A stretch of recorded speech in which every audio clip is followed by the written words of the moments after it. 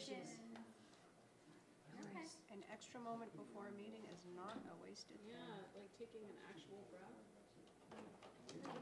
I know, we have like eight hours of meetings. So I'm like texting I was a messaging little, her tonight. little freaked out because I haven't been to a proper meeting since I broke my arm. No, actually, it's been a nice like week and a half or so break. Ah, yeah, yeah, that was a one Did you do anything over the vacation? Thank you. Did I? No, just went down to Boston. I had meetings in Boston. So I got to catch up with some friends. Yeah, that's good. I was in Boston for the week. Oh, yeah, your daughter, your daughter's home, right? It's the big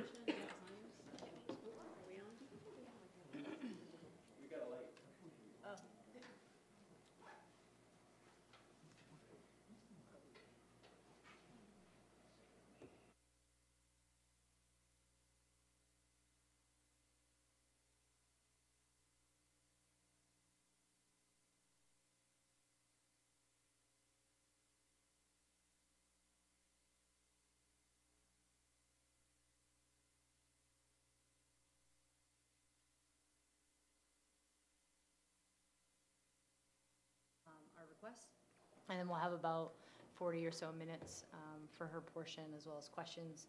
And then we'll go through uh, the Q and A doc that we, that the board had. Um, If there's any sort of follow-up questions with the answers that Julie and Kate have put in there, we can talk through it then. Um, And then Kate has created a document um, that just shows sort of current status as well as any, um, any of the things that were in motion, updates on those, and we'll sort of use that as a basis for how we want to, um, this, any decisions that we want to make as a finance committee in terms of next steps when we go to the town council workshop. How's that for an agenda? Anything you guys want to add? Okay, Monique? Great, thank you.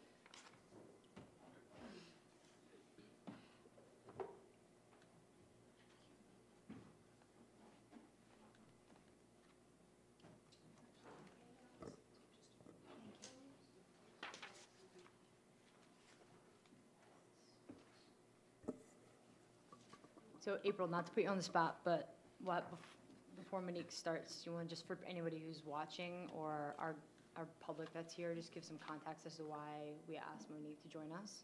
Uh, Sure, absolutely. So after we were presented to by the full school department during our two, two-day workshop, um, many members of the community, myself included, um, still had some questions around the role and the services that our instructional coaches play. Um, Specifically, um, people were curious how many instructional coaches we have at each phase level um, and what their day-to-day roles are. Um, And so if we could get some clarity into those things, and then I have a few other more specific questions. Great, Great, thank you. Um, I apologize for the throat lozenge, got a bit of a cough, so I'm going to work my way through this. Uh, We have a program description, there's a link here, I'll post that on the website. I don't have paper copies for you, but can run upstairs and generate some. We have a instructional coaching program that developed about 2011, 12. When I ran our program description through a Wordle application online, this is what came up, which um, was pretty interesting to me because learning is at the heart of it. Uh, It includes teachers and students, curriculum, and coaching. Um, Our instructional coach program is really about increasing the learning for students and supporting teachers along the way. But co- instructional coaching is not new. Um, It may be relatively new to Maine, although there are some districts, we belong to a coaching co-op, and there are some districts who've had instructional coaches for over 10 years. Um, Nationally, there are reading coaches, about 27%, math coaches, 18%, and general instructional coaches, about a quarter of the districts across the country, as of the survey done in uh, 2015-16 um, reports. Uh, One of the advantages of coaches is it maximizes uh, the return on investment to workshops. Um, One of the pieces that got us going and got us intrigued in the notion of instructional coaches is that this data, this research that was done in 1986 indicates what we know, that when we send people off to conferences, they well may gather some information, they may even be presented with theory, they may even be provided a demonstration, they may even get to practice that at the workshop a little bit, but when they come back, if they don't get feedback, and you'll see knowledge, information, skill, and transfer of the actual training, it has a very little effect. When you add coaching, sustained instructional coaching to that, it lifts the effect size to uh, over 1.68 in terms of the transfer of uh, learning on the part of teachers. So here in Scarborough, we wanted to make sure that our coaching program had focus and was lined up to our vision for continuous improvement. So they really focus on two aspects of the four themes, the one around effective teaching and learning and safe and inclusive schools. That's their focus. We have in the district a process by which when we set our own goals for improvement for ourselves, we ask the essential question, what do my students, as classroom teachers, what do my students need me to get better at? And so as a leader, what do my leaders need to get better at? So we also established some givens around this thing um, called coaching. The expectation in the given is that all teachers strive to improve their practice. We know that. Good teachers are good learners. Teachers are also the most important factor at improving student learning. Also, providing teachers at the point closest to the interaction with their student is the leverage point for increasing that student achievement. And what instructional coaches actually do is they help teachers be successful in improving their practice. And they do that in lots of different ways. So our instructional coaches are really, their focus is twofold. One is the curriculum coordination. The second is really around promoting instructional quality. And that is all around improving the learning for students. So they ser- service, they don't go in the classroom and tell teachers what to do. We know that is not good practice. They serve as thinking partners, they work in collaboration with teachers. So much of their work is building relationships with teachers so that there's a trusting relationship there and they work together. So there's a lot of choice and there's a lot of meeting teachers where they're at. There's also the curriculum coordination. They also work at professional development programming and they also serve the function to pinch hit. And I'll give you some examples of how they have pitch, been pitch hitting in the buildings. Who they are this year, um, and this has shifted over time. At K2, there are three, and they generally cover the areas of literacy, mathematics, and technology, but they also support other initiatives at the K2 phase level. And they all work together across content areas. For example, at K2, they've been working together at doing some integrative units that address science and social studies and STEM as well. 3-5, we have three instructional coaches quite similar to K2. 6-8, we moved to a humanities sciences format. So they, those, we have those three coaches. Two of the coaches cover all the humanities and all the sciences. So Kara works with the science teachers, also works with the um, math teachers as well as the STEM teachers. At 912, given the schedules and the resources available, we have two instructional coaches. Michelle Shoup came to us. She's part-time Latin and she's also part-time instructional coach. Uh, Jen Adams is a technology instructional coach, and she's full-time coaching. One of the things that we started this year after some training um, was what are called student-centered coaching cycles. And this is a way to focus the work on the students. So what a student-centered coaching cycle is, the teacher and the instructional coach meet together. They identify the goals for students. Teachers generally know what their goals are for their students. They might work on developing some pre-assessments. It all depends on what the teacher needs. Um, they work on the pre-assessments, and then they begin to design the instructional units or adjust the instructional units or try out the instructional units. And they then go into a phase where, and we talk about light coaching cycles or heavy coaching cycles. Sometimes it's just a consult other times it's more heavy where the teacher and the coach co-plan the lesson or the coach is modeling the lesson in the classroom or supporting the teacher with different groups of students in the classroom. It all depends on the needs of the teachers. Then the next stage is they do have a post meeting where they talk about how that lesson went. And it's not a situation where the coach is telling the teacher what went well and what didn't go well. It's that thinking partner, partner routine where they're side by side.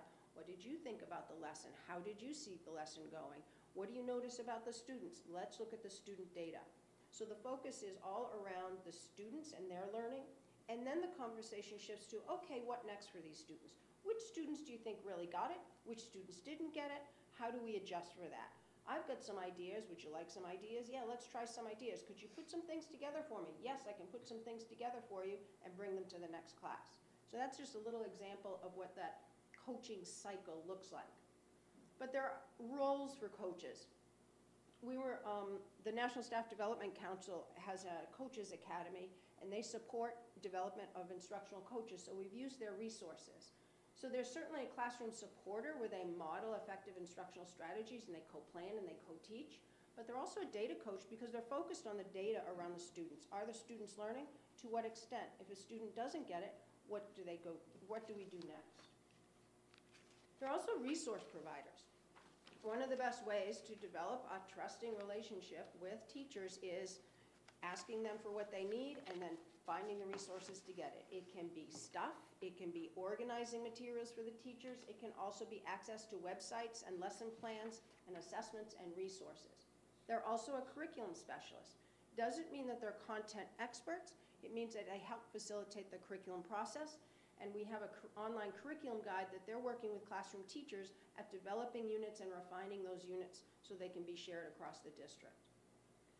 And lastly, another big role is to be mentors to new teachers. We have new teachers who are brand new to the profession as well as the district, and we have teachers who are new to the districts. They support those teachers in learning our curriculum, our instructional methodologies that are effective, getting them the resources they need, helping them in supporting the classroom and getting used to the new school, along with other supports that teachers have as they're new. They're also that instructional specialist. They know what adult learning looks like and how it can be effective for teachers, so that we do not have to send teachers out to workshops. So what have they been doing this year? Um, They do a lot, and so coming to some um, descriptions around that was challenging as we worked together. At K2, and every phase level is in a different place depending on what's going on with the building and what their goals are. At K2, they've been involved, there are, those three staff persons have been involved in over 40 heavy coaching cycles in which they have an ongoing relationship with classroom teachers at the K2 and are working within classrooms. But then more than 40 co- light coaching cycles where it may be just a consult, it may be just um, a conversation. There are also learning facilitators. They plan the curriculum meetings that happen after school, those 90-minute curriculum meetings. They're also involved in leveraging STEM education. Talk Moves is an instructional strategy. They also provide literacy workshops for the teachers, and they coordinated the Barharm Professional Learning. They're also resource providers. They support teachers with all those materials, assessments, activities on an on-request basis. When I first asked them that I wanted to track some of this data around their interactions, they were um, dumbfounded because they might have 70, 80 interactions, whether it's email, personal conversations during the day, on the fly, with the teachers as they're going about their work in a building. They're also involved in RTI intervention planning. So they may meet in, an, in a response to intervention where they're problem solving what works for a child. They might have some ideas for either the students or the academic support might, teacher might have some ideas for students uh, And then they might help support the classroom teacher in providing that service to the students. In the area of instruction and support, they assist in larger classrooms. They might pull some kids aside to do some, some little groups. They might do some um, flexible group enrichment. Um, They've also covered classrooms in a pinch um, when substitutes couldn't be found, and they've also covered duties K-2. At 3-5, at the Wentworth School, this past year was a little bit of an anomaly. Um, They've been involved in more than 75 light coaching sessions because um, the instructional coaches were needed to help support a classroom in which we had a long-term sub situation. We were unable to find sufficient long-term subs, so two of the three instructional coaches were actually providing instruction to students in the classroom. Uh, Other pieces at 3-5, they also do the curriculum meetings. Um, They assist in training for Google. They've been running literacy workshops. Uh, The district, they also help coordinate the district testing um, that takes place and also in interpreting the data with the teachers. Uh, They're also involved in intervention planning and new teacher support. The other piece that happens at Wentworth is that what they found is when we have students transferring into the district, they don't understand the language of our curriculum, and in some cases, they're not up to speed with our curriculum. They don't necessarily need an academic intervention per se, but they do need some lessons to help scaffold them so that they can understand what's going on in the classrooms. So the instructional coaches will provide that temporary service as well. Uh, At the middle school, the three instructional coaches um, have been involved in the coaching cycles as well. They're doing seven heavy and 11 light to medium. Um, But they also have, because the teachers at the middle school have team time, they're also involved in what are called, what the middle school calls content meetings, which is really working on the curriculum units, planning those lessons, activities, having those discussions. And at the middle school, they're working on helping the teams facilitate themselves to accomplish the work and providing them with um, ways in which they can have those conversations so it isn't always dependent on an instructional coach. They also are a resource providing, provider in terms of district testing coordination. One of those coaches, the technology coach, is also a part-time social studies teacher there, but they've also assisted with state testing coordination, which is kind of an all-hands-on-deck situation when we're involved there. They've also done some small group instruction um, for writing. And lastly, at the high school, the two instructional coaches, one was on maternity leave from September through December, uh, and the other instructional coach um, is a part-time Latin teacher, is uh, four-tenths Latin. But they've been heavily involved in the student-centered coaching, and they use the, um, our teacher growth and evaluation model has, um, and teachers need to do this, what's called a student learning objective, where the teachers need to provide um, sort of pre-assessment data on their students. They instruct, they provide their instruction, and then they do some posts. This is a new practice for teachers at the high school, but it fit very well with the student-centered coaching cycle, because that's essentially what it does, how our coaches can support teachers there. So they took part, um, the teachers at the high school really stepped up and accessed the coaches for that support.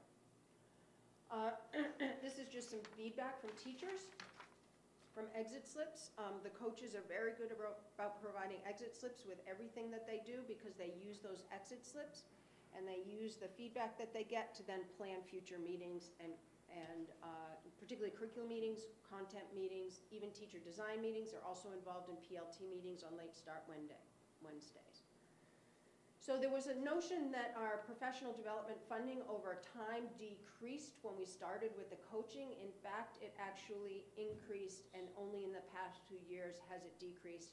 And this funding I took from allocated professional development time, allocated professional development lines at the schools and curriculum. There are other professional development lines as well in the budget. Um, So in terms of a cost comparison, when we look at our regional consultants, um, They range anywhere from, on a per-day basis, from about $1,100 to $2,400 per day if we want someone to come in for the day. Um, So that puts them at about $150 to $300 uh, per hour. When I did, took a look, Kate gave me the information about salaries and benefits for our coaches, and I looked at it by phase level. It ranged from 51 to $66 per hour.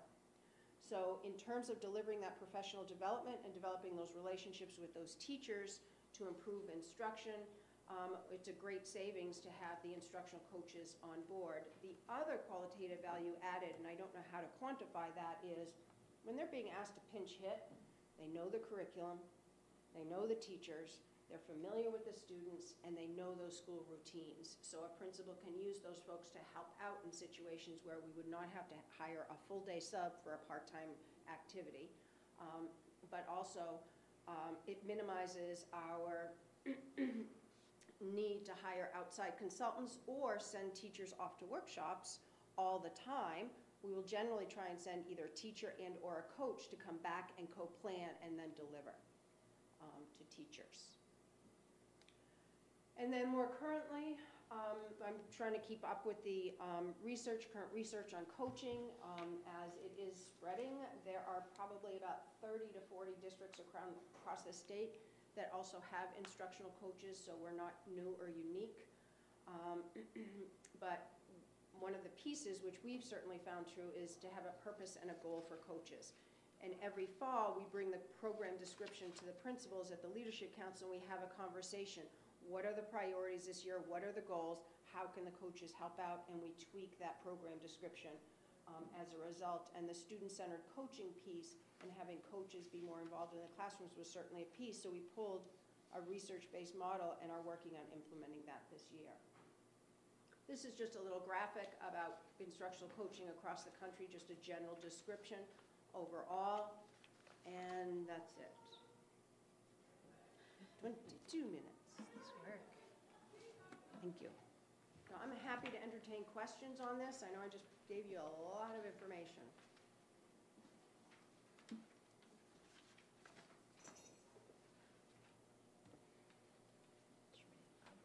Start. Um, Thank you for doing that, appreciate it.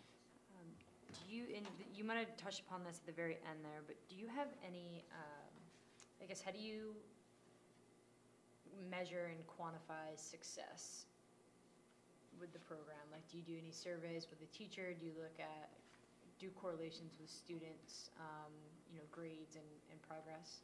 Yeah, w- that's one of the pieces that we are building along the way because there are so many variables. I don't want to only use the state assessments Yeah. and their role. Um, It's hard to quantify whether or not that's a direct result of the instructional coaches. One of the pieces that they do, that they look at those pieces, is, um, is via the exit slips in terms of the teacher's feedback from the activities that are going on. Um, And also a, um, uh, they're also working on putting together something more comprehensive. Uh, The other piece is within the student-centered coaching model, there is a document that the, te- that the coaches use with the teachers where we have our pre-assessment data and our post-assessment data. We're just working on that now, and one of the things that we do, we plan to do, because this is a new model, is to um, compile that information so that we can summarize that information. But because we're just starting out and some of the coaches were teaching, um, we haven't coordinated that effort yet. We do have a program goal around uh, student-centered coaching where there'll be a certain percentage numbers of coaching that takes place at each building with an improvement in student learning. So we do want to look at that outcome. Um, In this year, we just wanted it connected, so we're going to get some baseline information after this first year and be happy to report back on that from those coaching cycles. And just, I guess, more anecdotally for the exit slip, so there's only, I'm sure you have a lot of them, so thank you for not putting them all in here. Um, But just generally, do those trend more to positive or constructive? Yeah, I- I- generally, the feedback is positive. We also look for feedback on what our next steps or adjustments coaches can make. So it's a moving picture in terms of what's provided. Um, The other part of the instructional coaching picture that's important to understand is that sometimes instructional coaches um, are portrayed as change agents. And so sometimes there is pushback on coaching and coaches because that I call it organizational resistance to change. Uh, And that's why we've been very, very careful that our instructional coaches are not involved in the teacher evaluation process. They're not evaluative in any way. And we focus on building trusting relationships with teachers because we want to establish a community of learners and support for teachers, not assessing or evaluating those. And that's why we focus, we're going to be focusing on the student performance as a result of the coaching. So that is, sometimes we will get pushback on some things that the coaches are doing, and that's where the principals play an important role. Um, They help roll out whatever the initiative or the coaching activities are for the coming year, because it's, uh, this is where we're going. Um, Generally, it's based on feedback, for example, at the K-5, the writing, it's the writing goal. So a lot of the energy and the efforts this year, particularly at K-5, is in and around the writing. So Anne Marie and Courtney and Peggy have been working with the classroom teachers around that, um, the writing, the assessments, uh, also calibrating with the teachers, having the teachers have conversations. Okay, if the score is here, where do we go next? Those kinds of things. Okay, thank you. So is participation voluntary? It depends. Um, The curriculum meetings are required in the afternoon. What we try and do is try to build something that works for everyone, and that's why that feedback to design, lots of times they'll design little mini workshops or have teachers sharing their strategies. Um, So those are not, but when we offer, the coaches will offer summer workshops based on the interest of teachers, and those are voluntary. What about the more individualized assistance? Right now, we're looking at it as a, um, an attraction, um, piece, model piece. Um, if a principal has, might have concerns about a teacher or sees a potential growth opportunity for a teacher who isn't necessarily reaching out to the coaches, they might suggest that they do. Um, but we're looking at it as a, an asset-based model, um, where we want to build on people's strengths. Do you have any idea the number of teachers that um, the coaches have individually assisted at school, like at Well, they have levels? connected with, um, either via their communicate, they also have communication and resources they put out. They have coaches' corners. Um, They include information in weekly updates and things, so it depends on what kind of interaction or what level of interaction they've had. Um, We have some teachers who would love to use them all the time, and we have some teachers who are pretty independent and are, nope, I'm fine, kind of thing, but they're always checking in with, they try and check in, their goal is to check in with every single teacher and build a relationship with every single teacher. So the degree of interaction would vary. Who um, is the supervisor of the instructional coaches? I co-supervise the instructional coaches with the building principals. Every month, I meet with the instructional coaches and the building principals, excuse me, to talk about what's been happening, what um, the successes are, what the challenges are, and what the planning is moving forward. Um, So they set, the coaches set an outcome that- for themselves, which is aligned to the building goals for the work at the building, but they also set a leadership outcome for themselves, so they're building their coaching skills. Thank you. Monique, are each of the instructional coaches also certified to teach? Um, Have you found, so I think that there's a little bit of a, a- an odd dynamic happening, and I'm just gonna put this out there, and it might just be me. Um, We've actually, as a board, gotten um, some negative feedback about the instructional coaches. And so I think partially what we're trying to do is reconcile some of the negative feedback that we get um, to better understand their role and maybe where some of that negative Yep. feedback would be coming from. Um, And so do you find that different models work better at different phase levels? For example, I know it's difficult to imagine a hybrid situation where an instructional coach would also be a teacher at a lower phase level, because those teachers are with their same group of kids all day long, as opposed to a high school where there's a little bit more flexibility Yeah. in their day. Yep. Um, Yeah. The longer an instructional coach is out of the classroom, the more at risk they are of see, being, being seen as less credible. Excuse me, because they're not speaking from experience or recent Yeah. experience. Um, But a lot of the coaching pieces isn't about telling the teacher about their own practice. It's really learning how to coach someone side by side. So yes, there could be some pla, and there could be some places where we might make some improvements excuse me, K-5 is a challenge because of that schedule. And we've often thought about what we could do around that, but we haven't come up with anything yet. Excuse me, I might have to step out. um, I think too, April, a, a common, not just specific in Scarborough, but generally with the coaching role, a common challenge is that often they're perceived as like an extension of administration, when in fact they're not. Um, and we work really, really hard to ensure that that's, like Monique talked about, that they don't evaluate, they don't report what Alicia needs to work on and her practice to the principal or to Monique. It's more generally about um, the structure uh, in, of support. But I think that for some teachers, they still, they, they see instructional coaches as an extension of administration. And that can be challenging both for the coaches and for the teachers who um, we're trying to coach into. I'll be back, Okay. I promise. I just need to scratch my throat with a little bit of coughing. Julie, you may be able to answer this. So the, Sure. so Monique said that the instructional coaches don't participate in the teacher evaluations, but is that reverse? So do the teachers participate in the instructional coaches evaluations? No, so the te- instructional coaches are treated like a teacher. They are teachers, they're certified teachers. Um, so they get evaluated by their principal and Monique, but they don't evaluate other teachers. But And so teachers don't evaluate formally in the evaluation system, um, instructional coaches, because they're colleagues, they're peers. They're actually peers in our organizational structure. But they do give feedback in a variety of ways through um, exit slips and um, I think there's certain times in the year where Monique might do like a survey generally about the quality of coaching or what they need from coaches. um, Or in the context of, of, at the end of a curriculum meeting, how effective was this um, session or whatever. Does that make sense? It makes, I understand it. Okay. Yes. But there's no, um, that would be like the equivalent of one principal evaluating another principal.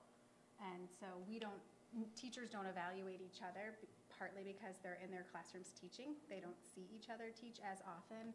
Um, But one of our goals is to create more of a feedback cycle where even a classroom teacher is getting into another classroom teacher's um, room to see instruction, effective instruction, hap- instruction happening, but not in an evaluative way.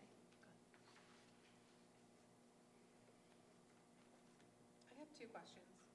Um, My understanding with the lead teachers is that they also do mentoring.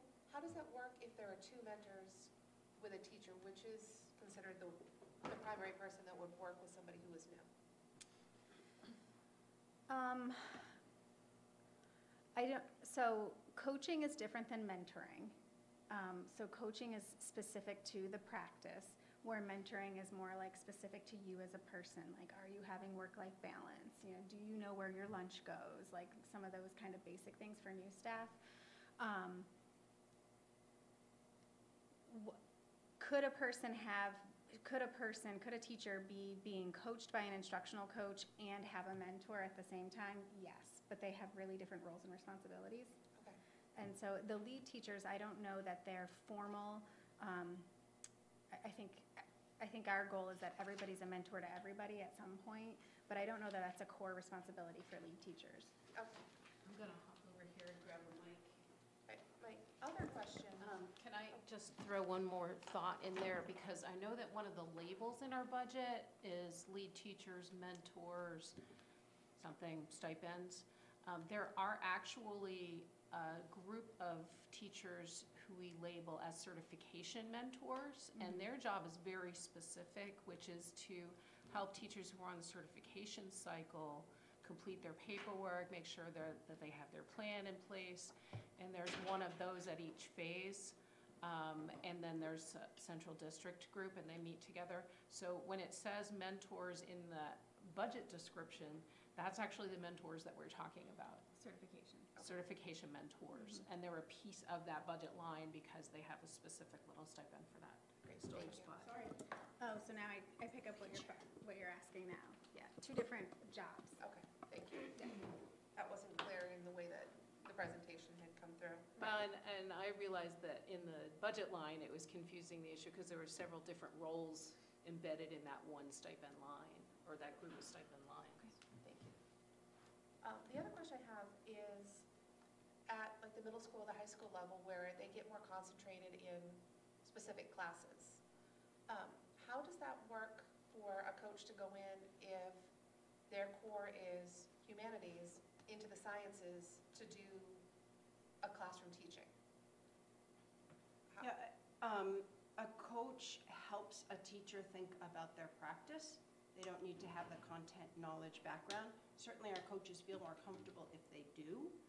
Um, And so, for example, Michelle Shook was working with teachers on these SLOs.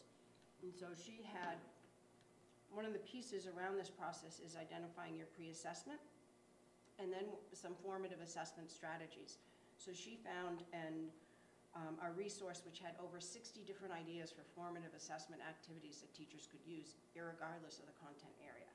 So she was sharing tools that cross all content areas. If teachers have um, specific questions about their content area and the instructional methodology and content area, particularly at middle school and high school, they would rely on their team for that, the other content area experts. And that kind of spurred another question. Um, So when the teachers have their meetings, like department meetings, are the coaches part of that to be included in the best practices and methodologies? Or is it separate from what happens with their, in their departments? Depends. Well, what will happen within the dar- department meetings is a department head might ask the coach to come and have a conversation depending on the topic that's going on. Or if the coach For example, Michelle wanted to offer this SLO piece with some examples, and so she worked with a few individual teachers, but then she asked the department heads if she could come and share at a department meeting. Um, So she gets on their agendas that way. Middle school and the content areas, it was a school-wide expectation that they were going to have these meetings and these were the tasks that were going to happen. That gets established, I think, at the leadership level at the middle school, and then the coaches are there in a supporting role. Okay. Thank you. You're welcome. So it gets a little tricky because we have, there's, I, I, I I don't want to talk individually about any of our instructional coaches because I'm sure that as professionals, they are all um, fantastic. They are. We have, we have two at the high school, one of whom is doing like a hybrid where she's in, it, she's teaching and then she's also doing the coaching. The other uh, instructional coach you have listed under technology. Don't we have a deficit in our math technology program, science technology program up at the high school where she could be doing something similar? Teaching, teaching at least a couple of sections of class and coaching? So she is actually going to teach a section next year. She's going to teach the adulting course, but it's about, at the high school, it's certification driven. So what we're asking for, I think, if what I, if I'm hearing you correctly, in terms of the new STEM teacher, is actually to bring on board specifically someone with an engineering background, because that's a gap that we have currently.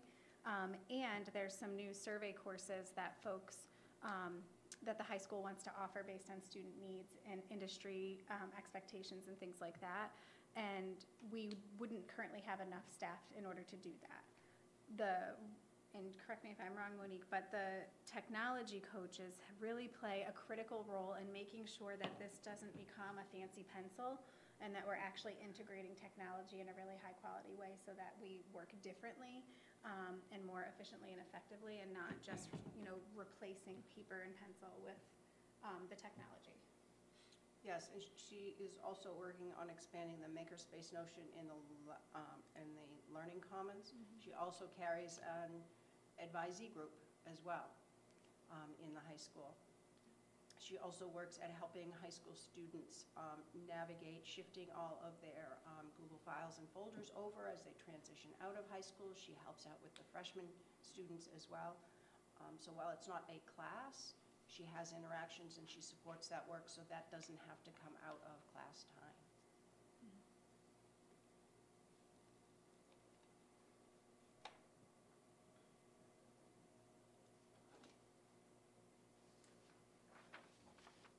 And I think we would all argue that the high school does not have enough coaching support.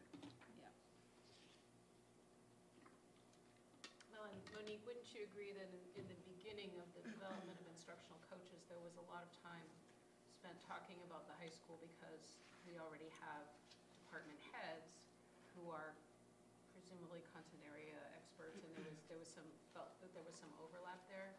I wouldn't argue that we have all the resources because there are many different roles that those leads play, department heads play, but it was part of the conversation initially, which is Yeah. why you see it more front-loaded at the lower grades. Yes, we've had lots of conversation about could we leverage the lead teachers at the buildings or use their time that they have. Um, Where we landed on this model, and this model has grown and shifted over time, is that with the lead teachers, there just wasn't enough time in the day. And then at- certainly at the K-5, we had that sort of, how do you do a part-time kind of a situation because they're not compartmentalized in classes. Um, And that's where we landed on this. Um, The principals were not willing to give up their lead teacher times because of the um, roles that the lead teachers play in just helping manage the buildings moving forward. And so now, in some respects, they also have instructional coaches helping out with some of those pieces as well. And also at the high school level, the department heads, we're really been talking and working to try to shift the role of the department head to be more that of a content-specific coach. And they receive less time, so they teach one less section than their colleagues in the department um, as part of that role, plus a- receive a stipend. Where at the other phase levels, there isn't that type of flexibility um, to be able to release, even the lead teachers don't have release time Right. at the K-8 level. So it With becomes the high hard to school. support any lead teacher with some, you know, the skills, knowledge, strategies that they might need as leaders, um, even in working with their colleagues, finding the time to develop teachers who are interested in more leadership, taking on more leadership roles, uh, that's an ongoing challenge.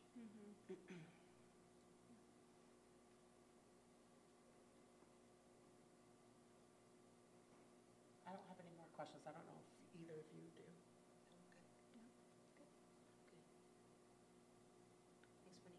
Thank you. Thank you. Thank you, Monique. While Monique's here, do you have any curriculum and instruction-related budget questions that you'd like clarification on or um, specific line items? Before we let her go There rest. were, there were a whole lot of, um, uh, software, stuff, um, I don't know if it's Yep. called systems or what, but soft, there was a lot of software identified as part of the, um, online and contracted services, and I don't wanna eat up a lot of time, but I didn't know what a lot of them were. Can you just sort of outline? Sure, some of those are um, what I might refer to as productivity pieces. Uh, So for example, the software that um, is called Enriching Students, used at the high school and the middle school, I can typically negotiate a better cost if I do a cross-phase level. Typically, most of mine are instructional, but that one, for example, is a productivity piece of software um, that rests within um, my budget. And what that is used for is for students to schedule or tag help and extra help with their teachers um, in the schools. Um, Other software, for example, with the overhead projectors, um, comes software that comes with the overhead projector. Um, We call it Smart Notebook. So there are lesson plans embedded in those pieces. Um, That's another piece, an example of software. Uh, Another piece of software we have is called Goo- uh, Google Read and Write, which is, um, it's an extension, but we pay for that, which allows students, it's a reader, it's an online reader, and it um, allows text help. It also translates text. So we make that available to all students. Um, More instructional pieces of software, um, we have, we need a solution for uh, video editing. Um, So we have um, video editing software there. We have um, Pear Deck, which is our formative feedback piece that gets embedded into instructional PowerPoints. We have um, a couple of subscriptions in that line. Um, One new request is a piece of software called Seesaw, which will allow the K-2 parents to be able to see their students' works. Uh, A- April is nodding because I probably your teacher uses that. It's a great way to communicate. We've been doing the free version. We want to be able to expand that opportunity so that all teachers can, at the K-2 level, can um, better communicate um, the work that students are doing at school at home. Those are just some little examples. What's the, can you talk more, there was one in there, the universal screener, that was pretty That is our district-wide assessment. I didn't put a particular vendor name in there because we're still in the process of deciding on a new vendor. Okay, but so that it's referred to as- is- That cost is significant. Um, We also have, we also, out of that line, we also fund the PSATs for our sophomores um, and juniors, and that comes out of that line as well. That's that college board piece. Do you want to mention about the universal screener and the fact that we're transitioning from We- one product to We, another? yeah, so we there's a different have been using um, a product, our vendor is Renaissance, it's called the STAR testing. Um, We're going to be transitioning to either the NWEA or the iReady, and I'm in the process of getting price quotes. It's going to fit within that ballpark. We just won't contract for anything additional. And are there costs associated with that migration? No. Do you anticipate that Time, being? well, due to just time, I mean, Phil Calick and um, our information specialist will be doing all the rostering on that. We won't be importing any old data. The data that we um, have has been imported into our data analytics software already. So we'll just start fresh. Sorry, just a uh, clarification. So the universal screener, I, listed Is as twenty-nine thousand? Yep. You said the PSATs is a part of that, so does that make? So, no, no, it's a part of that um, cost center, sorry. Okay, that's It's what I separate. Yeah, just wanted to clarify. It's separate.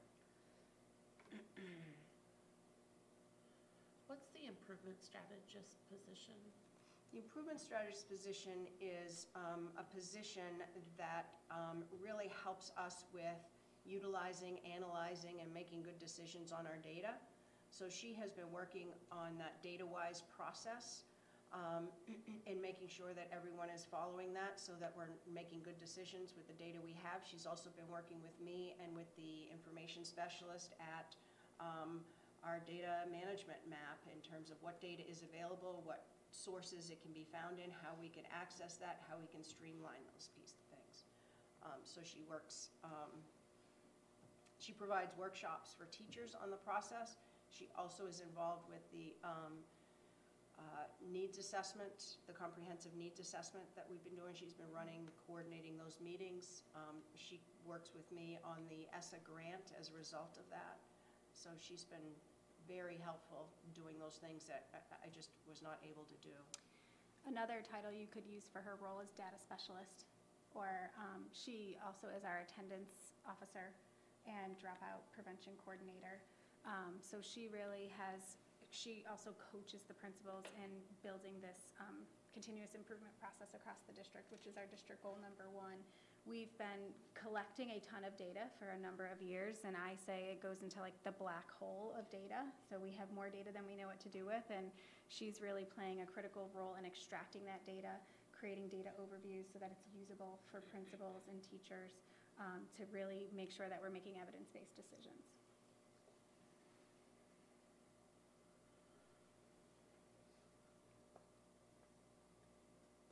April, Leanne, do you guys have any?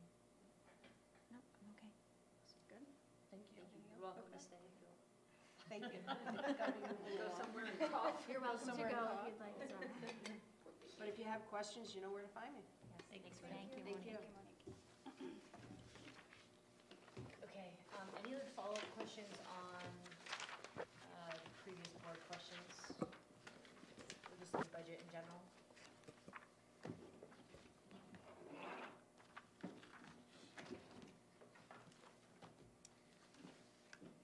I have one for you. Um, it was just really the ed tech question. Mhm. um, the proportionality of the benefits and the wages. Sure. Um, And I think your response was because we've adjusted where the ed techs are based on the need. Mm-hmm. Is that, but is it- are the benefits still high because they are taking more benefits? Is that, like, what's the reason behind that? Yeah, so th- the benefits are really specific to the person. And so Kate and I can do the exact same job. She might be in one building, I might be in another. Next year, we might switch positions. Kate maybe takes full benefits, I take no benefits. That's going to cause some disproportionality. Plus, where folks are in terms of their, their pay scale will, plays a role in that too. I think, uh, You got to turn it on.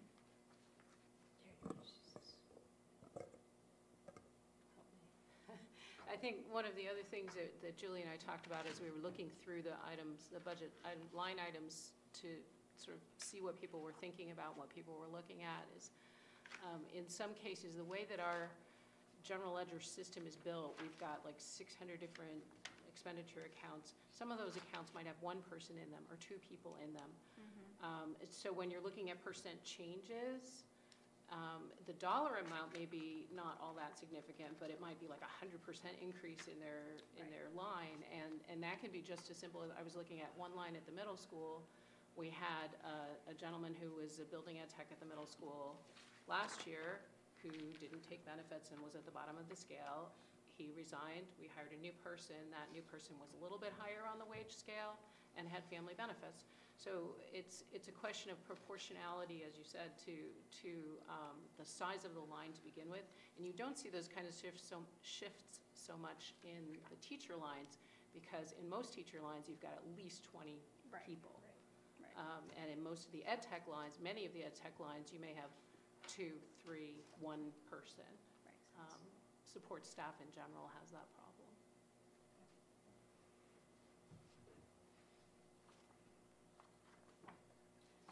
The other thing to know is that we base these, this budget proposal is based on current staff. And so then if, if something changes, if we know that an ed tech's not returning next year, you'll see adjustments by second reading in some of these lines based on that. Right, and, and I, it kind of goes to the, the great big cycle of, of life, what's the song?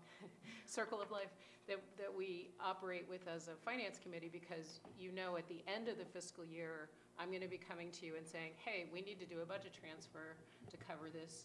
Um, And so many times, it's a benefit line because of those, you know, you could have a ten thousand dollar shift in a benefit line very easily just by someone leaving and a new person coming on board. I don't bring it to you if it goes the other way. Were there other um, things on our chart here that we want to? I'm good on that, thank you. Do you, sorry, just. Nope. uh, Kate, before we dive into, I guess, do you want to just let us know what we're looking at here and sort of explain? Yeah, does everybody have one of these? Yes. So, um, Have copy this? So what I've done here is, uh, this is a tool that we invented a year or two ago um, to kind of help us track the progress that we make between first and second reading. Um, And Julie likes the one that I had from two years ago because it goes on to like 11 by 17 paper and it's really exciting and has a lot of, of uh, movement on it. Last year's was a little less exciting because it was the same numbers and it fit on a shorter piece of paper. Um, So what you have at the top is uh, what our budget proposal looks like at first reading. And it's a little complicated because I wanted to outline the different funds because general fund, adult education, school nutrition, and the capital budget all have some kind of impact on the tax request that the school is making to the town. Um, so at the top grid, you've got um, sort of a complex little chart that says, here are all the different pieces of the school budget, what it looked like uh, approved in FY19, what we're asking for in FY20, and the change. And then the second chunk on that chart is your non-tax revenues for each one of those individual funds. So the last line then is your education net budget. And because the conversation that we've been having in the last couple of weeks is about what's the impact on the tax increase? Um, I'm, I figure the net budget is kind of the thing that we care most about right now. Um, And so I've set it up this way, and then the, the middle section of this that's in blue with yellow and green and all these cheery colors, um, there are two parts to that. The first piece is Leadership Council updates on items in motion. And you remember, you hear us saying ad nauseum that there are things that we don't know when we come out at first reading, and there are going to be changes that will take place between the first reading and the second reading that aren't really decision points. They're stuff that happens to us, and we react to it, and we make adjustments. Um, So the numbers that I've filled in are numbers that we actually know now. Um, The changes that I've heard of or learned of um, that are going to impact our bottom line. The yellow blocks are things that I, I still don't know for sure, but I think they might move. Um, And we don't have strong numbers to put in there, but they're things that we're still discussing as a leadership team. Then the second block I've labeled as School Board Finance Committee discussion slash decision points. And this is an area that I think we'll be expanding on in this conversation and then also going forward where um, you folks are coming up and saying, you know, I'd really like to talk about, for example, unified basketball. We need to get that into the budget. How is that going to look? How are we going to make that happen? Um, There are a couple of other things that I plugged in there as sort of placeholders, but that, I, uh, that's really just our, our working space going forward for what this group wants. Kate, why does that say six twenty-six after unified basketball? Because that is the net increase to the budget, and I have a piece of paper about that, which I'll hand out. Okay. Um, Minus the grant. No, that's, It's seventy-one twenty-six minus four thousand minus the grant. okay, I see What's the four what you did. thousand? Four thousand is the money that was budgeted for professional development in athletics and activities, which That they're we going to defer and move that over and use that as funding for the unified basketball. It all makes sense now. I have a, a little worksheet on that. Um, Well, and now then we've spoiled your worksheet. We Yeah, gave away the ending. The worksheet, you now know the punchline to the joke, right? Um, The, the last blue section is the capital budget, which is something that Julie might help us sort of talk through a little bit. And then the bottom line is your adjusted budget proposal, and I kind of squidged that up a little bit, so you're just seeing um, the gross and then the non-tax revenues and the net. total gross. So this is, I hope, a useful tool for us. Uh, My thought was that as we speak and as we talk about what the, the will of the board and the finance committee might be, then I can take some notes and say, well, that, if we do that, then we will land here. Um, And, you know, just try and capture those thoughts as we go along. This includes all the? It includes all the Above the red line. investments above the red line um, in this first block. This is what was presented at uh, first reading. Kate, before we jump into specific discussion, could you explain the change, the increase between school capital non-tax revenues at first reading and school capital non-tax revenues as listed on page two? Yep, if you look at page two at the top, um, and this is obviously, none of this is decided specifically, um, unless it's things that I've put that, you know, are at the top of the page that are things that we should just go ahead and do. Um, But one of the proposals that Tom Hall and Julie came up with after um, the first reading was a conversation that included a lot of talk about capital projects. And the difference in the school capital non-tax revenues is forty-five thousand dollars, which um, the town manager has proposed to bond forty-five thousand dollars instead of asking for tax dollars for that. Sorry, that was a terrible sentence.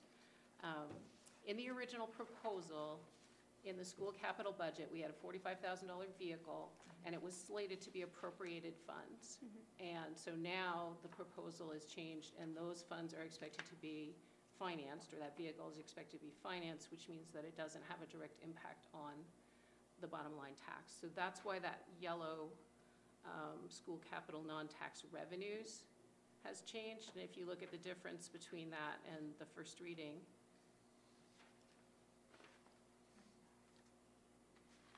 lower? no, the revenues are higher because you're getting bond, uh, you're getting bond. Revenues, revenues, yeah, and that's the only item on here that's actually a revenue shift, because it's a difference in how you're financing, how you're funding Right. um, the expenditure. Everything else that we're looking at right here is a discussion about reducing expenditures. So format-wise, does this make sense? I mean, it- it's obviously, it's, it's just a tool, it's something that we can use to sort of track our progress and, and figure out what it is that we're, we're trying to, trying to achieve. Um, I do have, since we got onto the subject of our friend Unified Basketball, I do have a little document that I made here, and I have extras of these, gentlemen, if you want to grab hold of anything. Um, Pass those down. What I've done on this chart is just to simplify um, a number of conversations, a number of, you know, different meetings and, um, you know, a whole new process of, of grant application and all kinds of good things into one chart, which basically says, what was the original proposal for unified basketball? That's the first column, traditional sports program cost estimate. And then where are we now? What do, what do we think we can, how much money do we think it will take us to effectively put on this program? So the context of this piece is that traditional sports program cost estimate of seventeen thousand eight hundred dollars, um, there's been a lot of folks saying, well, we, it doesn't really need to cost that much money, why would you put that amount in your budget? And the short answer to that is that we costed that out, uh, Mike and I, a- as we would cost out any um, sports program that we're offering, MPA sanctioned varsity level high school sports program, which means um, using the stipend rubric that's in the teacher contract to develop the stipends, which you can see from column one to column two is quite a difference.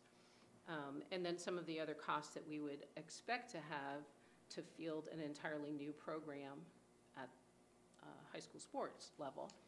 Uh, The second column is after much conversation, deliberation, can we do things differently with this particular club or sport because it's a different model, because it's not the same as a, as a regular, um, it is still considered MPA sanctioned, but it's a diff, a very different model from a traditional varsity sport. So step one was to come up with a lower price tag. And step two was to talk about where's the money going to come from. And so at the bottom of the page, you'll see the reallocating funds budget for FY twenty PD.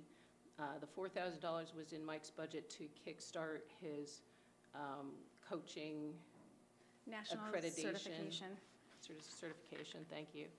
And so we, we've said, well, we'll defer that, and we'll move the money into the unified basketball uh, expenses. And then the grant funds, I don't know where you folks are on um, what you've heard about that process, but Mike did make an application to Special Olympics, and he's been, what's the phrase, 99% sure that, uh, that they are going to give us a grant next year and that it would be uh, in the amount of $2,500.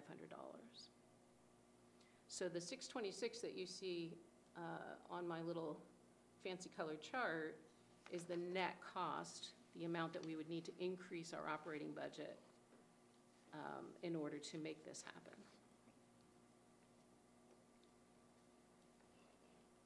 Thoughts about that? No questions from me. Fantastic. Yeah.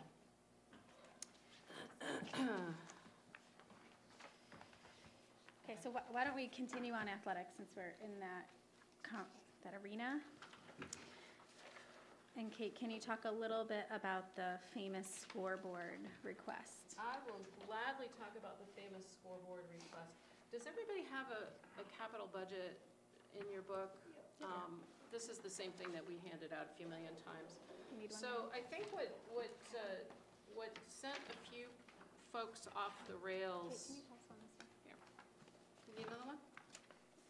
I've got, I've got a little pile of them. That's it, we just need a I'll take another one, I'm, I'm, I think what, what uh, caused a bit of consternation is actually 100% my fault, because the words that I put into our capital improvement budget um, led people to believe that the reason that we wanted to do this project was because of shot clocks that were required by the MPA, which in fact is not the case. Um, We know that the MPA has been considering using shot clocks, but that they have decided that that's not going to be a requirement for public schools in Maine because of the expenditure. So I want to take three steps back and talk about the process by which this capital budget was built.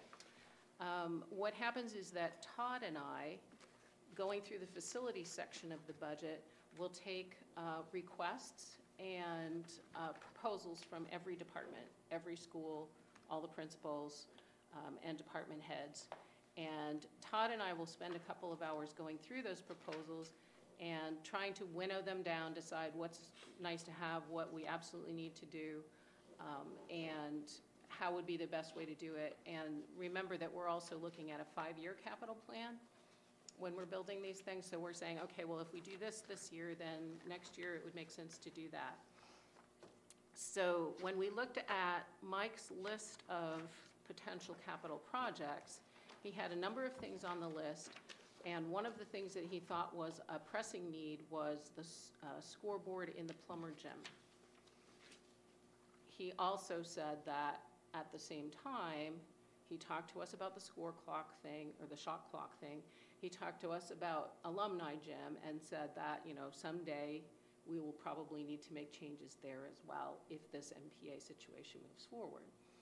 Todd and I looked at that and said, oh, well, if we need to replace the, s- the scoreboard in Plummer Gym, Because it's failing. because it's failing, because it's older, because it has, I think they're LED lights that don't function, um, I forget exactly I exactly don't know the details. specific type of bulb that it is, but each, you know how on a score clock, each number is made up of multiple light bulbs? It's very cost, um, in effect, it's very costly to replace those individual bulbs when they burn out.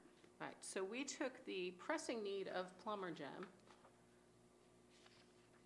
and said, okay, if we want to do scoreboards at the high school, we're going to need to engage um, an electrician. We're going to need to have a high-level scissor lift, which we're going to have to rent because they're going to have to go up and they're going to have to be working in the rafters. We're probably going to need an engineering study. We're going to need all of these things to make sure that this new scoreboard, these new scoreboards will work. If we're going to do it in Plummer Gym, it would be more cost-effective to do both at the same time. because we would have the material, we would have the equipment, we would have the specialists there all at once. So Todd and I looked at this proposal and said, okay, well, if we're going to do Plummer gym and we need to do that, we should probably do alumni as well. That had nothing to do with Mike's request, and it had nothing to do with shot clocks. It had to do with us assessing what was on the list of facilities renovations or upgrades that was needed to be taken care of, where they would fit into that five-year plan, what would be the most rational and efficient way of doing that. So I apologize to Mike for turning it into some, he doesn't know what the MPA wants conversation, uh, because that's not really what it was. Right. Um, So on my blue chart, everybody's new favorite blue chart, what I would suggest is that we go back and defer the alumni gym scoreboard. Don't worry about it. Don't worry about the efficiencies of it. And, I mean, we could say, this group could say, we don't really want to do Plummer gym either. But at the very least, we don't have to do alumni gym at the same time that we do Plummer gym. Is Plummer gym used for games? Yes, basketball principally. For what, for what age group and type? I So they do you do, know? um, they're more, more and more, they've been doing like double headers. So sometimes there's a game in alumni gym and in Plummer gym at the Right. same time. Yeah, there's a um, lot for of tournaments. I basketball know the basketball's in specifically. there. But isn't that only for like travel sports or something, not, not for our own schools? No, the, they do use it for, community does use that gym, but they don't use our scoreboard and they don't use our sound system. That's just for school-sponsored activities. So what school basketball games are occurring as doubleheaders? and- JV and varsity sometimes, or, um, like they might have a, a JV game in, in Plummer gym and a varsity game in alumni, or, um, I think if there's tournaments and things like that, they might be using both spaces. Because I've only seen it with, you know, JV goes first and then varsity, and then when they're doing like a, a tournament, it would be like a travel league that's in that gym. Yeah, I'm not, I'm not sure on the specific schedule of it, but that's, I do know for a fact that we only use it for school-sponsored events. We don't allow community to use that, the scoreboard or the sound system. I was just taking a quick look here because I have a bunch of emails back and forth about Plummer. Um, The PE classes use Plummer gym, youth basketball tournament, cheerleading invitational, summer basketball leagues, youth basketball tournament. Um, And then he says that the, our athletic department is probably not the largest user of the clock and sound system in Plummer. Um, Doubleheader games for winter season and fall volleyball would be the, um, our school-based Oh, sports have that are in there. volleyball. Yeah. Yeah. I've seen cheering in there quite a bit as well, but I think that's practices rather than the And they're not using competitions. the I don't think they use it, they use the sound. They don't need a But we're talking scoreboard. about the sound system, not They use just the the sound scoreboard. system. The sound Yeah. system is Yeah. also in this budget, and um, so there's another line item on our capital, page two.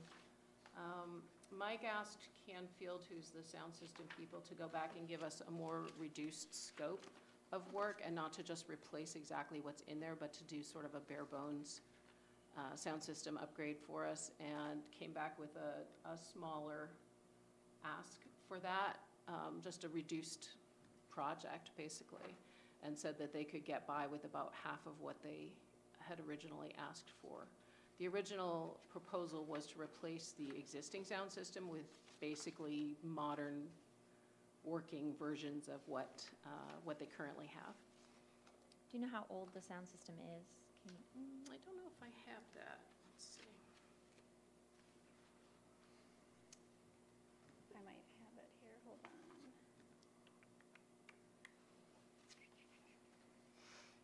What, I mean, what's the difference between the mic, microphone system and the sound system? The microphone system, is that under the auditorium that you're looking, Alicia? Oh, thank you. Um, The auditorium, yeah, that's, Yeah, that's, sorry. Different um, Sorry.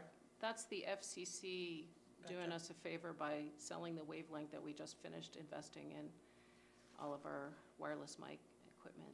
Sorry. No, that's fine, it's confusing. And Um, While Julie's looking um, for the information on the sound system.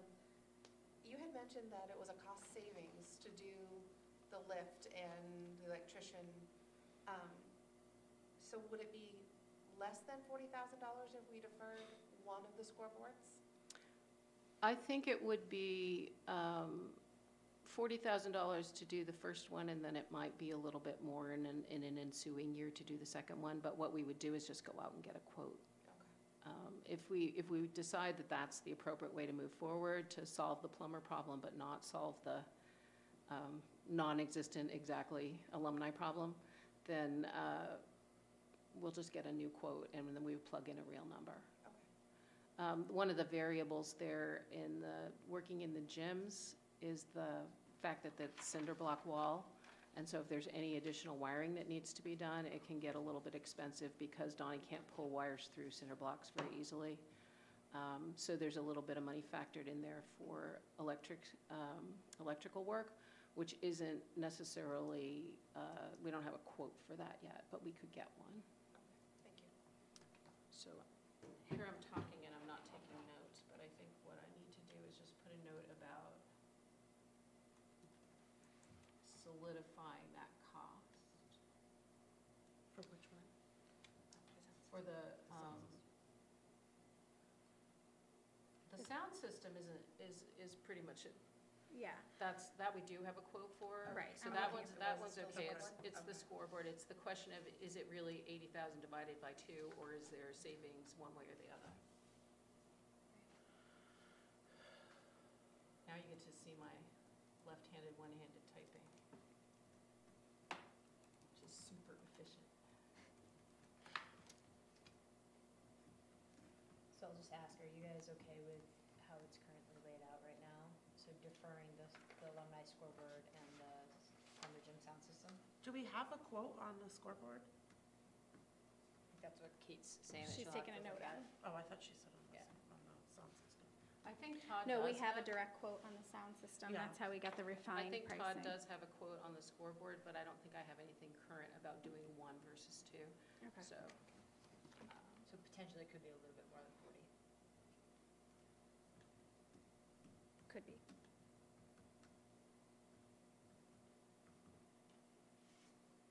Okay, so I've captured that we're gonna get a new quote on that, but if the, if the general concept is that that's kind of where, where we're headed, that we would do one and not the other, then we can, we can nail that right down.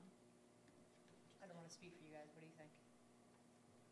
And it can be, we get the right number in there, and then we see where we are. I mean, none of this stuff is, is necessarily decided this minute, unless Sarah wants us to decide it this minute. We have, what, two whole weeks, We weeks? got, we got so much. We got so much time. I guess I'd love to know the, the necessity for the Plummer scoreboard based on school athletic use. Sure. Because, just for confirmation purposes, Julie, you said that the, the other entities don't use our scoreboard, right? So I have, um, I requested data from community services, and this is what's tricky about it. They reserve it for most events, and then what the school department will do is block the gym out, say, like during the springtime, we may need to be in there for baseball, we may not. It just, so we'll block it out. So the data that we have isn't as pristine as I would want it to be, to actually know what is the specific use. So it might say that the high school used Plummer gym all this week, and really nobody ever needed to go in there outside. because the weather was good. Um, So what I, what I have here from um, the system that community services uses is RecTrac. And so they're able to go through and say, like, how many times it's been used, um, what are the fees that have been collected, and things like that. Um, But I haven't had a chance, I just got it, so I haven't had a chance to really, some things are highlighted in green and orange, so I don't totally know necessarily, but um, how to decipher this. Because I'm assuming all we would need it for in Plummer would be double headers for basketball and, and volleyball. Right, because PE, you don't, you don't need a Right. scoreboard. Wha- Right, I think um, we're conflating a little bit the use of The the use of the gym space with the use the of use the of the scoreboard. scoreboard. Right. Right. I mean, and the reality is, it's a decision point. So Right. it's, we can continue to replace bulbs as they fail, and it's just a matter of at what point does something, does it become more cost efficient to get a newer, upgraded, more efficient piece of equipment, or keep putting money into a failing piece? That's, How much are they to- for, to replace the bulbs? um, I don't think I have the specific cost of that, but I can find out. And how many need to be replaced? How much to replace the bulbs? And can we just use flip scores like we did back in the day? Pay a guy to hold a sign. All right, so we'll fig, we figure, need to figure out what we're doing with scoreboards in general here. Um, Oh, and cost. So the auditorium, Kate, Uh-huh. that sound system is gonna be unusable next year?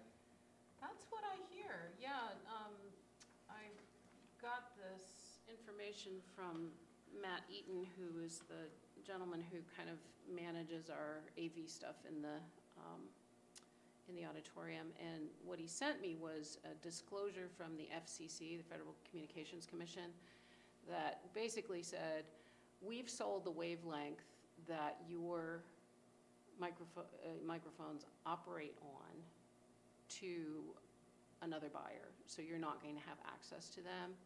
Um, And it's, I believe it's to do with cellular phones, that the cellular phone, cellular phone wavelengths are expanding and they're giving more space on the spectrum to them. And I'm probably using all the wrong words because this is so not my area of expertise.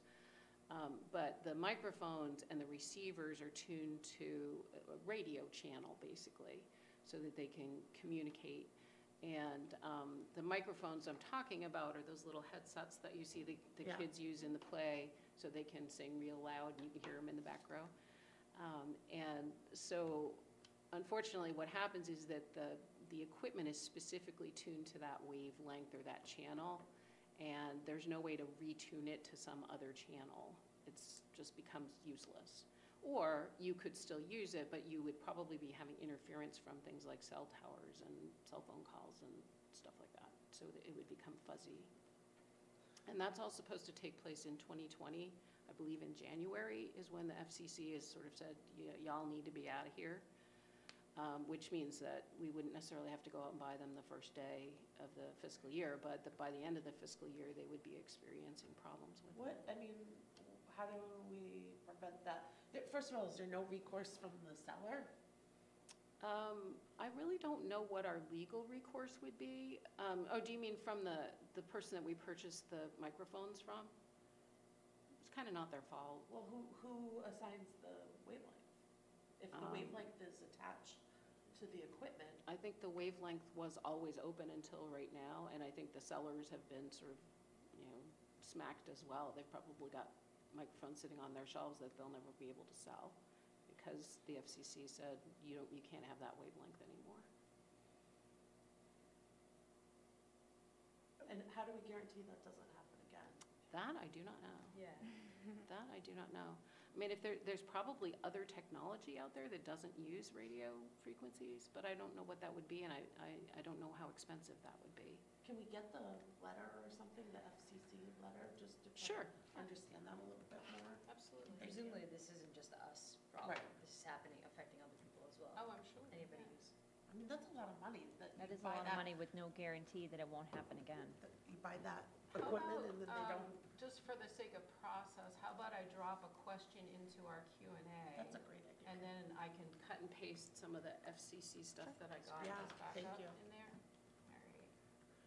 yeah, or I wonder if you can get off, I think we're all out of our league right now, but off. Right. I know, right? Isn't it Off terrible? frequency wireless mics. We should are- We probably, we should probably be asking Somewhere, them. yeah, they're, they're shaking their heads at us They're so like- hard right now. There's- there's some- Please stop talking, some guys. serious Don't say magical thinking frequency going on right again. now. Don't say microphone again. Oh, my goodness. All right, so I'm going to just say, make a note here. I need more mi- information about FCC changes, um, making microphones, I can't spell either, obsolete. How's that? And then we'll, I'll just drop in what I have Great, thank you, Kate. Thank you. Leon's already Googled it and found some information about, from churches, so. Yep, um, it includes there being, um, fines and criminal sanctions if you don't get off the service. Ooh, great. Um, Let's not do that. So I should increase the legal account too while we're at it. Holy moly. Pay now or pay later. Yay, government. it's crazy. That really is. Sticking with CIP, um, do you remember, Julie, how much was, how much remained in the impact fee budget after we got the acre shed? Um, I, I don't know if I have it in this notebook specifically, but I believe there was probably around a hundred thousand dollars plus or minus ten to twenty thousand. And was that after the use of impact fees at a normal level in the debt service? Right. Correct. And so Right. I don't know if within the town budget that has already been reallocated to offset debt service this year, which then would change the whole bottom line for all of us, or if it was left sitting in that fund. I It mean, may have it's been their applied to debt School service. impact fees, so they shouldn't be reallocating it. Right. Well, but remember historically, the way that They're impact fees have making our been debt used have service been to bills pay down smaller. debt service. So, yeah, and that, which is that, ten percent of our budget, debt service. our debt service budgeted expenditure amount right now is based on what we know we already owe, plus a placeholder for the May 2019 uh, bond issue, which Ruth is working on right now. Um, So if we were to find that we actually owed less in debt service, then I think that's where we would see that, right? We're, Um, No, I think we are, I don't think we're gonna have less debt than we expect, so to speak, but my understanding is that one of the, the, one of the things the town manager was talking about um, when it came to debt service and why there happens to be this surplus of funds, if you will, available this year is remember that debts, the, the school impact fees are typically two years out. So the money that we're, the amount of money available we're looking at today is from two years ago, was collected two years ago. And so typically, um, and I'm just gonna use a hypothetical number, so please don't quote me on this. Let's say we normally use seven hundred thousand dollars to pay down debt service each year. This year, there's a million, right? Um, and so that left that three hundred plus thousand dollars above what we would normally be able to, what we were normally paying down on our debt service. And so what Tom was saying is that we could apply it all to debt service this year, but then next year we'll have a big gap because we're our debt using service that cost fund, will be that much right higher. above and beyond. And so um, it was, the, the timing of it made it appropriate for us to seek those funds outside of budget cycle to fund this project. So I think alls we have to do is go back to the manager and say, are there still school impact fee funds available, or have we applied them to debt service within this budget proposal? And I think one of the questions that we already did ask during the course of the Eight Corners project conversations we've been having is, um, if it's two years out, then what does last year look like? Is it back to sort of normal levels? And I don't kind of remember where that, Yeah, I don't think we were able to project. The question we asked was, is there a way Is for it us to be able possible to to project? anticipate or project? And, and the reason I ask that is because if you look at, if we're still in capital improvement under the technology section, there's about a hundred, just over a hundred thousand dollars that's due to outfitting new classroom spaces Mhm. that, um, I think there's a strong argument there, similar to, the- to the trailers, that that could be made to, that that's due to growth. Mm.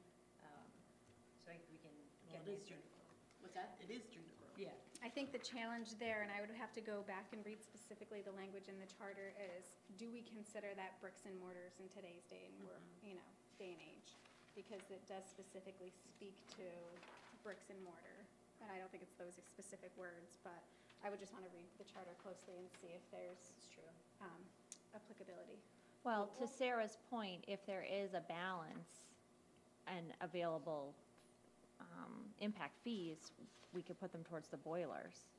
That was something that we had said was, was certainly, would be something that would qualify.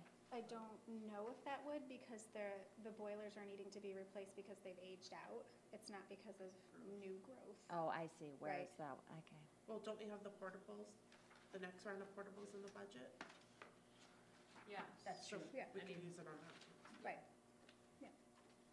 I other, Um, I guess, I think at this point, it would be important to remember that in the capital budget, you've got items that are financed, bonded, leased, and items that are appropriated. So if our goal is to reduce the tax request from the schools in this current fiscal year, then the things that we would want to focus on would be the things that were going to be appropriated. And so the town manager and the town finance director are the people who actually make the decision about how to mm-hmm. finance mm-hmm. things. We say, here's our budget, we'd like this money, and they decide how that happens. But if we're trying to eliminate a cost to the town, then we would want to look at things that were going to be a direct cost to the town, um, meaning things that were not planned to be bond, uh, bonded, yeah, Bonded, things that were planned to be appropriated. And is there anything in there that's, So if you look in your Qualify. budget book, if we go to the capital section, if you have the town budget book, it's tab five. um, Where you can then see what's scheduled to be bonded, what's scheduled to be appropriated. Um, And I'm not sure, Kate, what does T mean Uh, know? T, where's T? on page fifty-four? I didn't bring that You're one with me, I just brought a printout of it here. Trade-in. Trade-in, okay, thank you. Um, And then, Thank you. what's that, Appropriate. Oh, R is reserve funds. Okay, so that's the coding that you see Mhm. used in there, so B bond, A appropriate, There's a- trade-in, and reserve What do you call it? There's a ledger. le- legend somewhere there. Um, So, and then if you, so there's all the municipal stuff, um, kind of on the first few pages, and then you get to the school section on page fifty-nine. And so here's where you can see, um, how things originally in first reading, but remember already that maintenance truck, it says appropriate here, um, but the town, it has lumped that in with four other vehicles to be financed.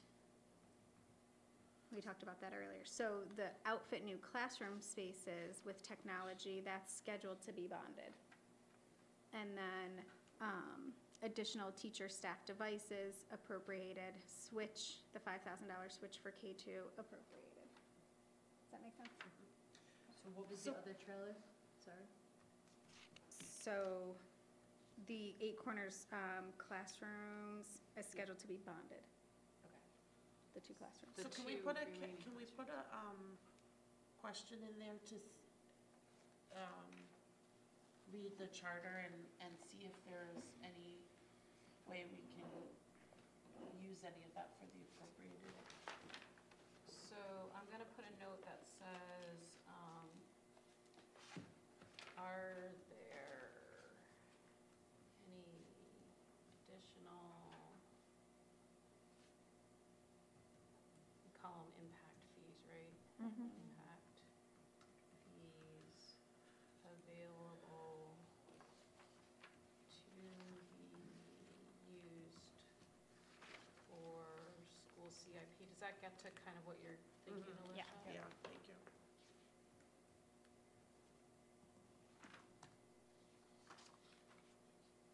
So if we're looking at reducing the expense, the district-wide building envelope, which is the skylights, the masonry, and the exterior doors, right now it's scheduled to be appropriated. Mm-hmm. Could that be shifted to bonded to reduce by 175,000?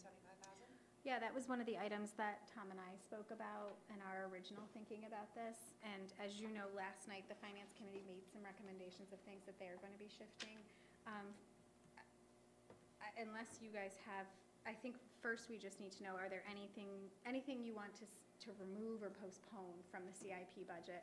And then I can work with Tom to decide what can be appropriated and what can be bonded, if that makes sense. But the input that we really need from you tonight is, of these projects that you see listed in that detail that Kate has provided, are there any that you think should be deferred?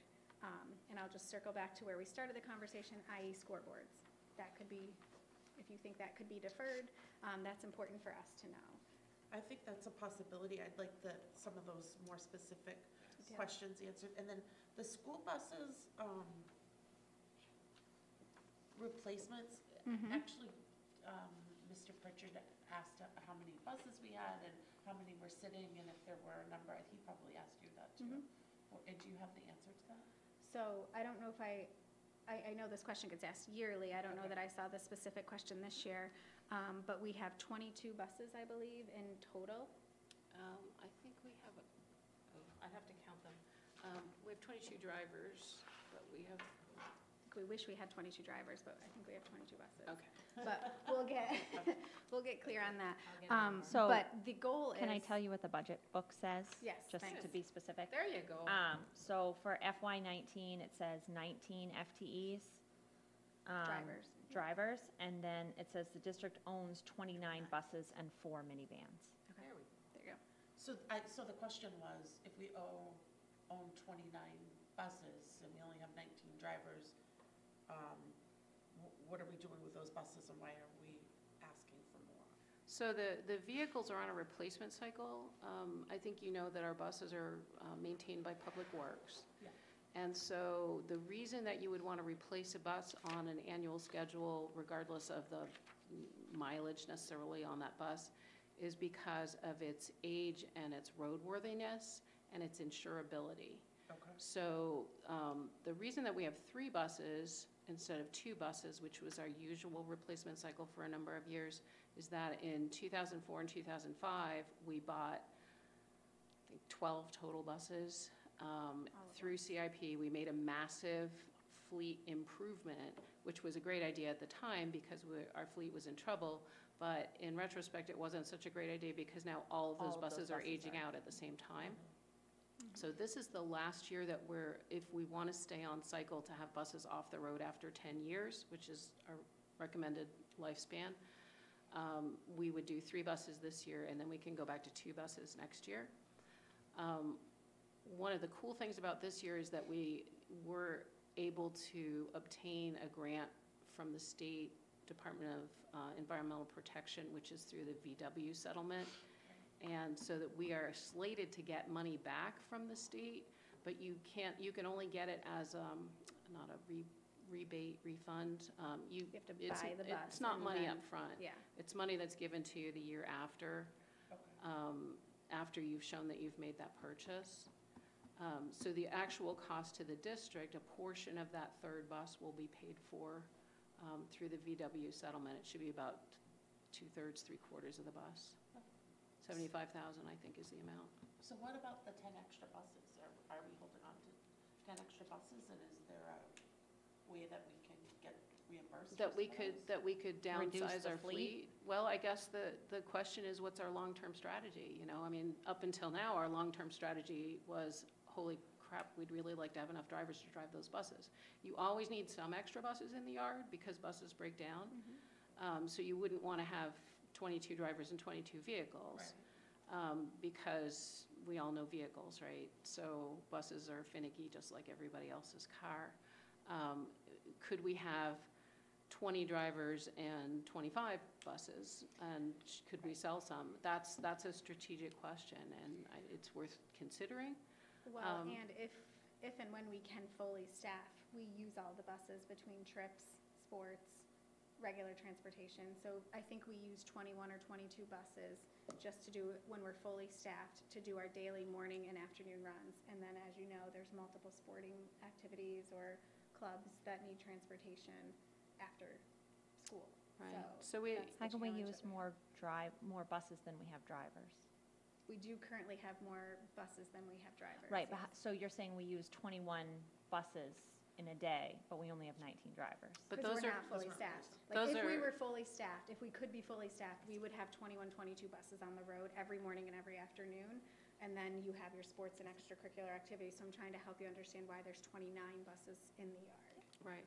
And remember that, um, well, maybe you don't remember because I haven't said it to you yet, but um, we do have spare drivers. In the good old days of plenty of bus drivers, we would have four or five spare drivers, and many of them only drove for sports trips or only drove for um, field trips, in which case, you know, that driver would have a- another bus while everybody else was out doing the regular runs. I guess I'm interested in somewhat of an analysis of, of, we've got ten extra buses and how old they are, if, if they're ten-year turnaround, right? So, Um, well, we- we've got, we've got a list of, you know, what the vehicles are, what the mileage is on them, what their, um, uh, lifespan is, if you will, you know, when they're, when they were built. Um, and it sounds like it's a more, more of a strategic conversation though than just knowing like about the vehicles themselves. It's like the use of them, right? So Right. Well, we need to yeah, have like a, both. A conversation, maybe Sarah could help us put something together that explains where the buses are at any given moment, so that we know that we're using our assets appropriately. Or, or when, I mean, I, I I guess she doesn't have a crystal ball, but I mean, if, if we're at eight, eight years or six years, I mean, realistically speaking, are we gonna be able to get all of those buses out on the road by the time that they're, they're still good, or are we better to cut our losses now and, and resell them? Uh, meaning the older ones, Right, right? right. Yeah, so take them off the road sooner, yeah. Yeah, I guess I'd be curious to know if we didn't do the three buses, let's say we didn't do two, because the, it seems like we should do one if we're getting seventy-five percent of it paid for. Is there any, what's the impact to, To the older to the students? Um, To the, One thing I will say about the older buses is that once they're more than 10 years old, you can't get insurance that will cover them for replacement value. Um, So that's an issue uh, that we have faced occasionally. Um, If a bus, an older bus is in an accident, they'll say, you know, it's kind of like an older car. They'll say, well, here's your $2,000. Well, you can't go out and necessarily buy a bus for $2,000. Um, But they've, uh, the insurance companies have a cutoff point where they'll say, well, we're not replacing that vehicle for you. Well, I think that if they're recommending ten years, we shouldn't have them on Right. the road after ten Right. years. I would never suggest that. But you're just thinking in terms of downsizing with Downsizing the, the fleet. the newer ones as well.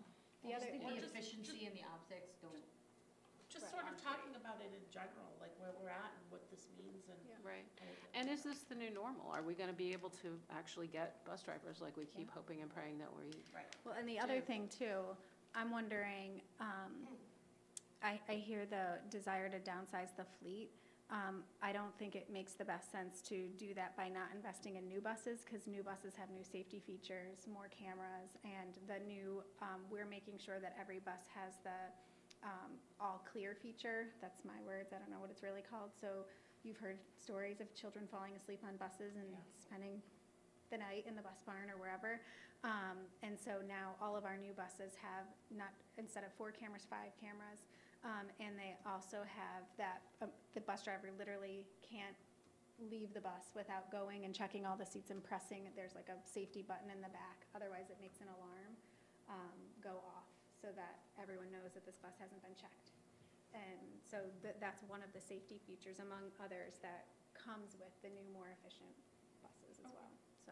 Thank you. Um, but I think there's a way to think about, are, you know, can we offload three buses? Um, And only replace, you know, and get two or. Right. Let- Yeah, let's talk Yeah. about it and yeah, I think we'll have to connect with Yeah, I'm public. putting it into our, this is, I'm using the BOE questions, the big spreadsheet thing, just that's for a simple place to put things. And could we downsize the fleet based on our current experience? I mean, I just want to be clear, though, these are questions and conversations. It doesn't mean that, that by asking them, I'm advocating, first of all, for a, a- certainly not for an unsafe bus Oh, no, no, no. fleet. I mean, and, and, and I'm not even advocating for any outcome. I just think that the responsible thing to do is to have these conversations. Yeah, yeah, I agree. absolutely. And I think, you know, what we're saying is, can we provide the safety, the, the services that we need to provide at a lower cost? And that's a fair, fair question. It's always a fair question.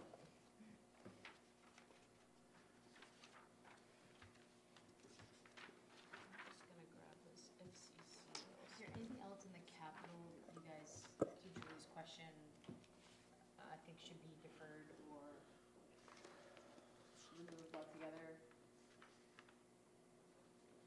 Uh, uh, Other, th- so what Julie's put in um, for, or Kate, in the blue section, um, I, I would love, we're gonna get a quote, or try to get a quote for the alumni Yep, a more gym's accurate quote, quote. scoreboard.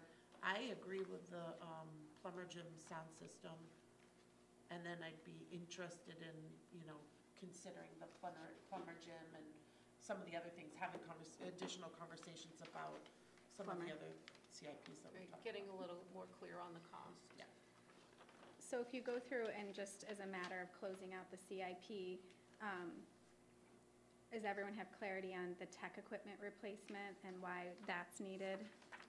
Where- Good, right on the first page of this chart here, just to go through, any clarifying questions about the new tech equipment? This is related to um, the new, s- the K-2 classrooms. Okay, Yeah, and I guess the only, um, if you want to call it a decision point there, is the way that we've laid it out in, in um, furnishings and tech equipment in the coming year is that we will have potentially six new classrooms. So if you say, well, we really know that we are going to have four new classrooms, but we might have two more after that, do we want to reduce the ask for tech and furnishings to Four acknowledge classrooms. that there might be four classrooms instead of six? Does that make sense? Do we get economies of scale by go- doing these for six? Are there any benefits? Um, I would say for the furnishings, yes, for the, um, for the tech, maybe not so much because it's not huge numbers. Like, if you're talking Chromebooks, buying sixty versus a hundred is probably not gonna be a, a price point. For furnishings, probably, yeah. Okay. Um, but we could do quotes a couple of different ways too. I guess what's, the, the wonder is, we do have in our budget, in CIP, the other two classrooms. And that we don't necessarily have to spend the money if we don't, um, implement those two other classrooms. Well, We just and have we- the of course we budgetary wouldn't. authority to do it, right? and we wouldn't. So I think that's the important thing. This 88.9 here is to furnish six classrooms. We know for a fact we're bringing four classrooms online for this school year. Right. And then the other part that's out there is the two additional um, modulars at Eight Corners. I think that, you know, every day we're kind of getting reaffirmed that our projections are accurate, um, if not low. Um, So I, I don't have a crystal ball, but I'm gonna project that you're gonna end up needing those classrooms. And if you, remember, we don't spend it if we don't need it. Just because it's in here does, it gives us the opportunity to if the need arises. If not, you're then waiting for the next budget cycle and putting it into the next. So that's, that is a decision point. Um, I don't want to gamble with that, I mean, No, Well, I and the other question is, very basic. is, does it really get to our end goal, which is to reduce the tax No, because request? And the um, tech for the classrooms is considered bonded on this one, and um, looking for,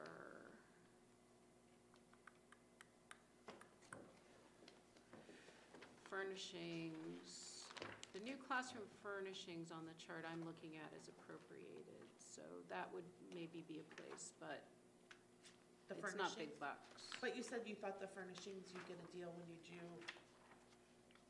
Get a better deal That's when you do tables the and full chairs, amount. Yeah, yeah. tables, chairs, desks, cubbies, anything that you see that looks like a piece of furniture when you walk into a K I classroom. I mean, honestly, A, I just feel like it's It's small such a potatoes. significant, yeah, it's small and it's such a significant need. If it happens, then it's not even worth it.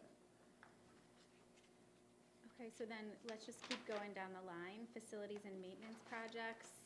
Um, Just take a look and skim and scan through there if there's any clarifying questions or, um, I mean, every single thing is a choice, but as you know, one of the things that was very clearly articulated during the Leadership Council meeting was how underfunded facilities um, has been. And so, just keeping that in mind here, we have some roof restoration scheduled, um, some painting at the middle school, replacing and retrofitting inadequate features, um, replacing the leaking skylights at the middle school gym, masonry repairs and exterior doors, kind of on this page here. I've, I've already reviewed it and, uh, like I said at the town council meeting, I think that the needs here are so shocking that I can't even imagine touching any of that, that Okay. budget. And we're, we're fifty percent less than the recommended, what, what the state recommends for, Yeah. for facilities. I just, we were just talking about that. I mean, the, the, we've spent so much time in the past few months talking about facilities and the needs and, you know, the fact that we're just kind of keeping our heads above water, trying to keep things moving. And to go in and sort sort of start taking apart the five-year plan again, just to look for a small nickel and a dime, savings right. is, is, um, is maybe not the place we want to start. I mean, I mean, if, if we are talking about not painting our schools, not replacing leaky fixtures, we really need to have, a- you, you talk about our priorities, I mean, mm-hmm. we really need to have a serious discussion, that's really bad, and I mean, replace middle school failing toilets is one of the items. I'm gonna leave that. Advocate for those. And I did, t- I did talk with Todd today, Kate and I both did, if there were any projects that he could recommend being deferred and what the impact would be, and he hands down said, please, please, oh, please, not HVAC, so, um, I heard loud loud and clear when Yeah. you presented, yeah. which is the sig- a significant portion here that I believe is mostly scheduled to be bonded, um, with the exception of the high school Wentworth HVAC, and not Wentworth High School HVAC controls, it's hundred and fifteen thousand, that's scheduled to be bonded as well. Um, the district-wide HVAC repairs is scheduled to be bonded, and then the trailers is what's on this page, so that's all currently scheduled to be Bonded. financed. The truck we talked about on the next page, um, and then this is the classroom furnishings, which we just talked about, the high school auditorium equipment, which is the wireless microphones, which we discussed, athletics, and then transportation. So that wraps it up. And then on the back sheet here, you have sort of a schedule of what CIP has looked like over the last several years. Slightly higher this year, but considering some of the significant repairs, it's not astronomical. And the new big growth. Right. So I think we're good on that. Okay. Is there a uh, method, uh, methodology you want to use to go through the operating budget, Julie, or you want to just shout out? Um, I think, I mean, we could go in order for the sake of just following if there's, if you have specific line items that you have questions with. Um, The big, it starts with middle school and then goes to Wentworth for regular instruction, works through the schools. We talked about the ed techs, which I know that was a big question. Um, You all saw the response to course reimbursement. And again, that, that's something that can be a choice moving forward for the board. Um, In the contract, the way that it reads is that teachers, this year they had until June 30th to submit their course reimbursement plans. Um, And then that's how we determine how much we allocate in the budget. It's based on actual enrollments. Uh, We do budget um, a, a small amount for new staff that may be hired after the budget cycle begins, um, because it's a contractual obligation. Here's a complete breakdown for you by school. And one of the things that um, you notice at the high school, which has a significant increase this year, is we actually have a cohort of high school teachers who are part of a leadership cohort. Um, And that's something we have not yet had high school teachers be a part of this, so it's really exciting for us. And that's why you see such a significant increase there. I can't remember, uh, we could do the quick math to figure out how many folks are doing that. But they have in their contract up to nine credits reimbursed at the USM rate, is how we calculate that. And then they can apply for additional um, credits to be reimbursed at the superintendent's approval. And um, that hasn't happened this year that I'm aware of. I think everyone's within the the guidelines of the contract. So I, I thank you, Kate, for putting it all in one spot because it's sort of throughout each school's line. Yeah, and I, um, I did put a response into our Q and A spreadsheet. Um, What number is that, Kate? Do you know? let's see here. Oh, hang on, that's lost the last one. It was until I messed around with it. At the very bottom, Yeah. Alicia. 13. Line 14. 14. Um, Yeah, so uh, just to be a little more precise about the process, what happens is, under the teachers' collective bargaining agreement, there's a requirement that the teachers submit a professional development plan to central office each year, and I believe it's by January 30. I end of January each year for the following year, which allows us to build a list of all the teachers who are in programs who, who are going to be approved to have credits paid for. Um, And so we actually have the, the sort of real list. And so on this chart that I just handed out, that first column is people who already have a plan in place to take courses, and we've said that that's okay. Um, And then the second column um, is estimated for new hires, and since we uh, discovered in the past couple of years that we've had folks come in to the district who are already in a de- degree program, or they're already working through, um, you know, working toward their masters, they've come in the door and said, hey, what do y'all do for course reimbursement? And in most districts, there's not really a requirement for you to sign up ahead of time or to know a year in advance. Um, So we felt that it wasn't necessarily fair to exclude those folks, especially if they were already in an existing program and just trying to continue with what they were already doing in another district. So this year, we built in a little bit of extra um, to support those folks. And the numbers that you see in that second column with three classes, two classes, one class, are based on what we know about new positions and turnover. So, you know, if we know that somebody's retiring and then someone new is coming in, then there's a chance that person that we hire might have um, a need for, to take a course. And we would want to be able to honor that under the teacher's collective bargaining agreement. So we built in a little bit of a cushion there. Um, And just know that we only um, allow or approve courses to the degree that we have money to support it. Um, So what we have in the budget is essentially a cap on what we can allow teachers to take. And the, the past couple of years, we've worked really hard on trying to get that prior knowledge, rather than just sort of, you know, do a survey, are you in a master's program? We really have like specific prior approval um, months before the new fiscal year, so that we can, we can have accurate numbers.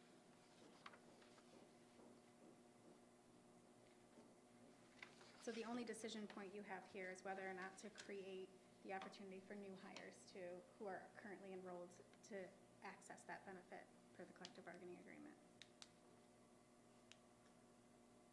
What, how many of these are, oh, yeah, yeah, you said, okay. So, um, do you have any idea, I don't know what, I'm- how I, how to articulate this, any idea of the, um, rate of retention for the number of new hires?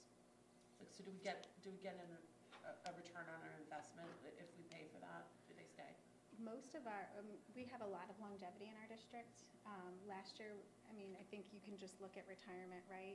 Uh, I have not done a years of service analysis since FY '17, um, but we certainly, it's a big project, but I, I'm happy to try to squeeze that in in the next 60 days.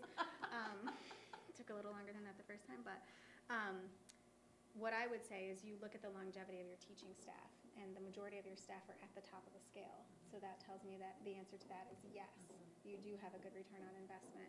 And one of the things Leanne and I were having a lengthy discussion about is the value of that HR specialist is to help ensure that we get that return on investment by um, really amping up recruitment or retention strategies with folks. But here in Scarborough, we're a pretty, we're a pretty de- desirable district. Folks want to come here and want to stay here when they get here for the most part, Well, I think that that, anecdotally. that, you know, eighteen thousand dollars goes towards that. I mean, it's more expensive if, if we have turnover and to Absolutely. pay for that. So I mean, eighteen thousand is, in my mind, if it, if And we, it and we may increases- never access all of Right. that, because again, it's dependent upon prior Actual enrollment. enrollment. Right, Right. already coming to us Right. already Right. enrolled. It's not coming in September and saying like, ooh, now I want to take some courses. Because in that case, I do, in every single new hire, my conversation is to make them aware of this benefit and make sure that they know the timeline. So they would know that, okay, plan for that for next year, put it in by January 30th.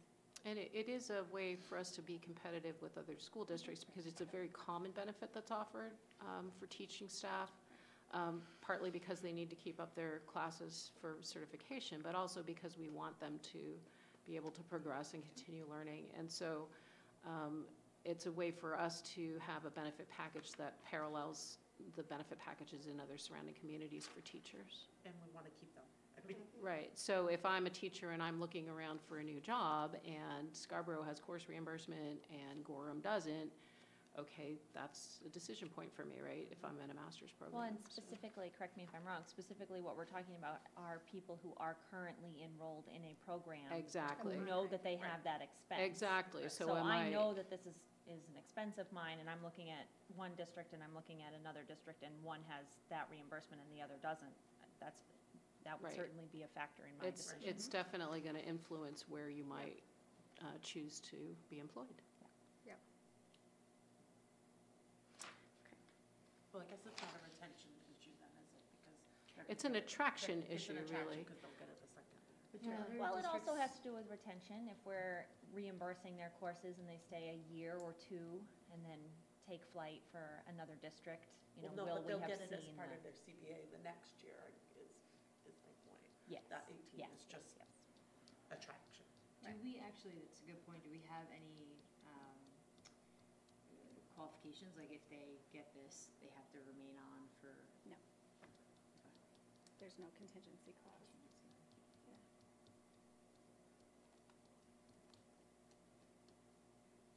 Questions. We have that at my company. And I would put out- is Right, that if you get reimbursed, then you have to stay. Then you Right, have to get, so yeah, is and that- there, Is that something that is?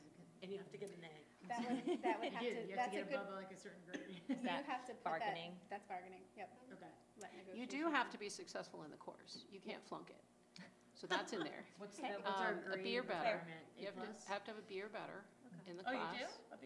I think that's still in the Okay, language, good. isn't it? I like We're gonna bump that to a B plus. Am I, am I I- I- making that High wrong? standards. I I don't recall that language, Mm, but, Okay, so maybe I'm, I'm recalling the last contract, so, um, I- Some yeah, questions for I'm you. not gonna look it up now, but we can, it's, but I, but I, Clearly you know, it's in the not, it's not a, um, you're required to stay on with us if. We'd never retain anyone. And, and I don't think you would really want to do that, because there's a variety of reasons why you want folks to stay, but also why you might want folks to Yeah. Yep, move on down the road. So, I think it's more making sure that they're in an accredited program, and then I think it's incumbent upon us to say, how is this gonna improve your practice? And that's where our energy is best spent. Okay. So that was another big one here within this individual school lines. I don't know if you guys have any other things, burning questions? I did have one, I'm just trying to find. Postage was a question. Do you want me to talk about that one? Or do you want Kate to talk about that I one? don't, but there, there's a lot budgeted and we don't use very much. What the heck postage? Okay, so, so postage is, is one of my favorite lines. Um, What happened is that in FY seventeen, our postage costs were really high, Really high. like really high, and we sort of had this, why is this happening? What the heck is wrong? um, situation. And my, my colleague Renee, who is a bulldog and a vendor genius, um, worked with the Pitney Bowes to figure out what the heck was going wrong. And it turned out that there were billing errors, and they gave us a massive credit. So the machine massive was, like, credit Duplicating the bills. so it was, it was accumulating, basically, instead of clearing. Yeah. um, Clearing the account when we were paying the bill. So we received a massive credit from them, which helped us not spend that money most of last year in fis- FY eighteen, and then half of this year. And now we're back to spending the money, and now the FY twenty budget represents what we normally would spend on postage. So if it hadn't been for vendor craziness, it would have been a much steadier, Right. normal um, trajectory over those four years. And we do mail much, um, very little, actually. Um, It's just the sheer volume of the mailing. And That one was a thing that we huge do year mail every year when is we were like, is "What's test going scores on?" This was in the, grades "Oh, three we through gave you the eight. credit." So that's and something no- that people want to have a hard copy of, they should have a hard copy of, um, and it shouldn't be something that's emailed because it's a student record. And you know that you get it, Yeah, because we we actually actually moved Yeah. it, but. Yep. late. We get, um, But most everything else we do electronically, as you know, parents. Uh, can you, what does Pitney Bowes do? They- Do they do just the addressing, sending it? Um, no, it's our Service? postage meter. Okay. So it's actually, it's the actual postage. We use a Pitney Bowes postage meter because if you have metered mail, it costs a little bit less per unit than putting stamps on things. Um, So, uh, yeah, here's like middle school, but yeah, high school's, look at middle school right here. So you have a big number, then you have like, oh, we didn't spend anything, then you have the budgeted amount, we spent like much less than the budgeted amount because of a credit. And then, but this is what we really anticipate it costing us.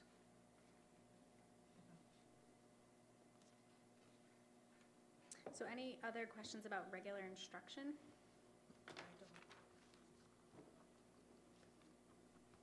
No? Okay. The next is ESL. I don't think there's anything too out of the ordinary there. Um, I would mention that in the, the budget categories that you're looking at in the line, um, they're, they're li- laid out in the budget categories that the voters vote on.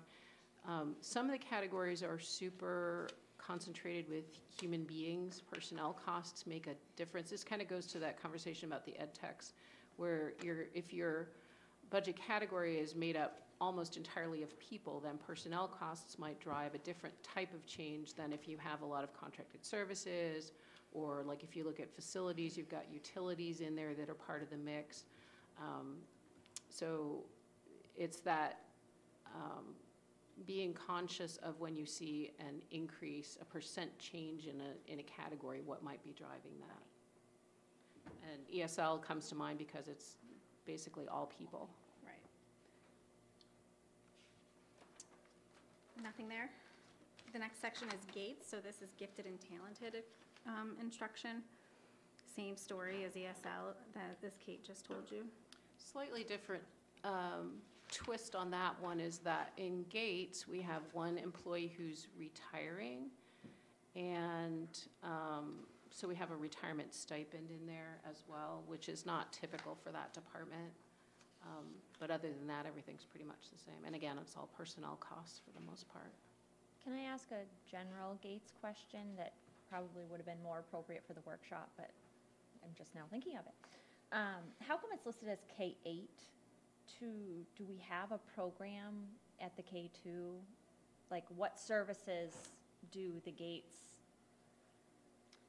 educators provide to students at the K-2 phase level? And really, it's not until fourth grade. Right. I Um, think so it's why more do we have it listed? embedded in the instruction. We're required to have a GATES program, and every year Allison puts in a plan to the state that then gets approved. Um, And, but it's not necessarily appropriate to en- identify a child that young. I mean, it can happen where they might require some supplemental or um, replacement type of instruction because they are so brilliant. Um, But typically, that happens within the classroom setting. It's not a pull-out model like it is in some of the other grades.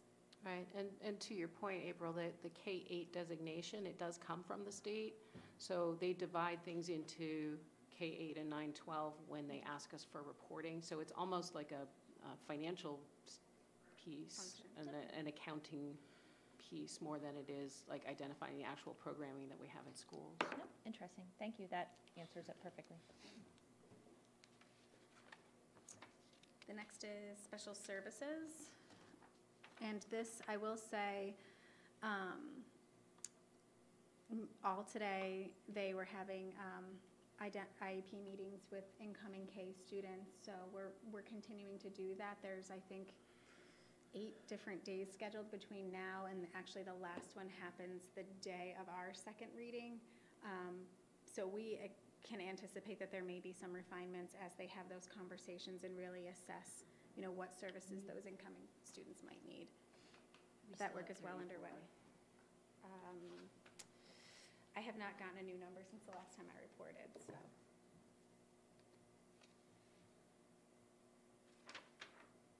Okay.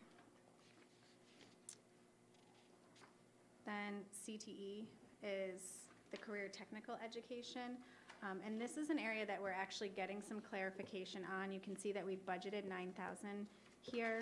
Um, And if you look at the history for CTE, you'll see that we went from budgeting 250, 300,000 down to 9,000. Um, But then, and you look at what we actually, the projected actual for FY '19, it's much lower. And this is because the, the funding mechanism shifted at the state level. So rather than us receiving part of the funding through our formula, um, it's now directly directly funded to the CTEs. And so what um, we're looking into is, do we need to have this buffer in the budget? Will there be any bills coming our way that we might need to cover? Right, so um, when this, the funding model shifted for the first time this year, so um, there was some discussion among the Voc schools, and we use Paths and um, Westbrook Vocational, Regional Vocational Center as our two sending schools. When we were meeting with the leaders of those schools, they were trying to learn from the state what it was that they were going to get for funding, and would it be sufficient to cover their programming? And there was sort of a caveat that if there were items that they needed to operate, um, they needed funding to operate that wasn't provided by the state, that they would be turning back to the sending schools and saying, hey, gu- guess what, guys, you still owe us some money. So that's where we, we still have some uncertainty, because this is the first year that we're living that model. Um, And my, I did put it as one of my items in motion. I'm going to reach out to them um, now that the Voc schools have probably been building their budgets to find out if they have any expectation that we'll owe them anything in the coming year. And that could be something we could reduce, it could be something we could take out. I hope it's not something that they say, well, yeah, actually, we're going to ask you for 15,000. That would be a bad surprise, right? Um, But we'll ask the question and find that out. Can I uh, throw in a, that you do have to have an A or a B? We have to have an AO. Kate What? found- Kate found it in the language. Airbnb, what? Kate found it For in your the voc language. course, For your- Julie, that you're Oh, taking. oh, let's No, for, for course reimbursement or course do have to have an prepayment, A or yeah, there's, a there's a requirement that you have to attain a grade of an A or B, you have to complete the course, you have to succeed, Expectations. succeed. And Sarah's going to change that to a B plus. An A, only an A. The next section is our other instruction, which includes athletics and extracurriculars. So, we've got a high school athletic director, an assistant athletic director, a middle school athletic director, and then part-time athletic director, I don't know what. Clerk. Clerk, thank you. Yeah. Um, Do we really need all of those positions? I would say yes. Um, and so we have one athletic director, and then we have an assistant of athletics. He's not an, an assistant director, he's an hourly employee, and he assists with all the game setup, takedown, supervising games, scheduling, um, a lot of the tech advances that we've had with, um, the athletics department has been a direct result of this person and his role. Um, at the middle school, we have a teacher, a middle school teacher who receives a stipend to oversee middle school athletics. Um, Simply logistics, they're often running programs at the exact same times in different places, some away, some home. Um, And so he oversees directly that, but he also works with um, the students directly in terms of eligibility. So if there's a student who's um, at the middle school who is underperforming or showing signs of at-risk behavior, he develops a plan with those students directly to help them um, improve their academics so that they can continue to be eligible. Um, And he also oversees like some of the 504s at the um, middle school. At the high school, Mike LeGage is our athletic director. Um, He oversees all of the programmings K-12. That includes Wentworth extracurriculars as well. As you see that, some of that here in the budget, we've made some of those shifts here in coordinating all of that, working directly with community services around those shared services for the overall fields and um, coordination of that. And he serves, part of his um, responsibilities at the high school is he's part of the building leadership team. So he's a fourth member of that leadership team, and he does all of the, like, medical 504s um, which has all those meetings and make sure that those modifications are put in place. And then our, the, I don't know, I'm saying clerk, that's the role that most people could associate. I'm not sure what kind of creative title we have, but she runs the office um, portion of the athletics department, and she's a part-time hourly employee. Makes sense? It just seems redundant to me, uh, uh, from, as an outsider. The, Um, the other person, I'm sorry, Alicia, the other person that's in the, um, there was a question on Amy's list about the different line items, um, and the athletic, the line that in- includes the salary for the athletic director also includes the athletic trainer, so, um, Oh, I it's saw not that. really labeled that way, but, yeah, I'm sorry I cut you off though, so go that's ahead. okay. And do we have an athletic trainer and a part-time athletic trainer as well? We have one athletic trainer who is full-time on staff, um, contracted salary and benefits, that's Joe Davis. And then we have uh, a contract with Maine Medical Partners for a part-timer um, who assists us, and that's a contracted service, so he's not an employee. Right. Um, So he's part of that contracted services line. I and thought I saw. Yeah. Is that something standard to have athletic trainers for the high school level? Yeah. Athletic trainers, an athletic trainer at the high school level is definitely a standard. Really? Yeah, particularly with concus- concussion management. Huge. Um, There's a state requirement and mandate now that there's um, con- concussion testing and concussion protocols. So that's basically a full-time job in and of itself. The concussion testing and protocol, well, the concussion testing, does that need to be done on site or can Yeah. that be done? It does? Yeah. They do And pre-testing, they use a software, but they, I'm aware with, of the software and that sort of thing, but Yeah. so like my son had a concussion, we took him to his doctor and got the testing to find out what, it- you know, where he was at and. do they do baseline testing?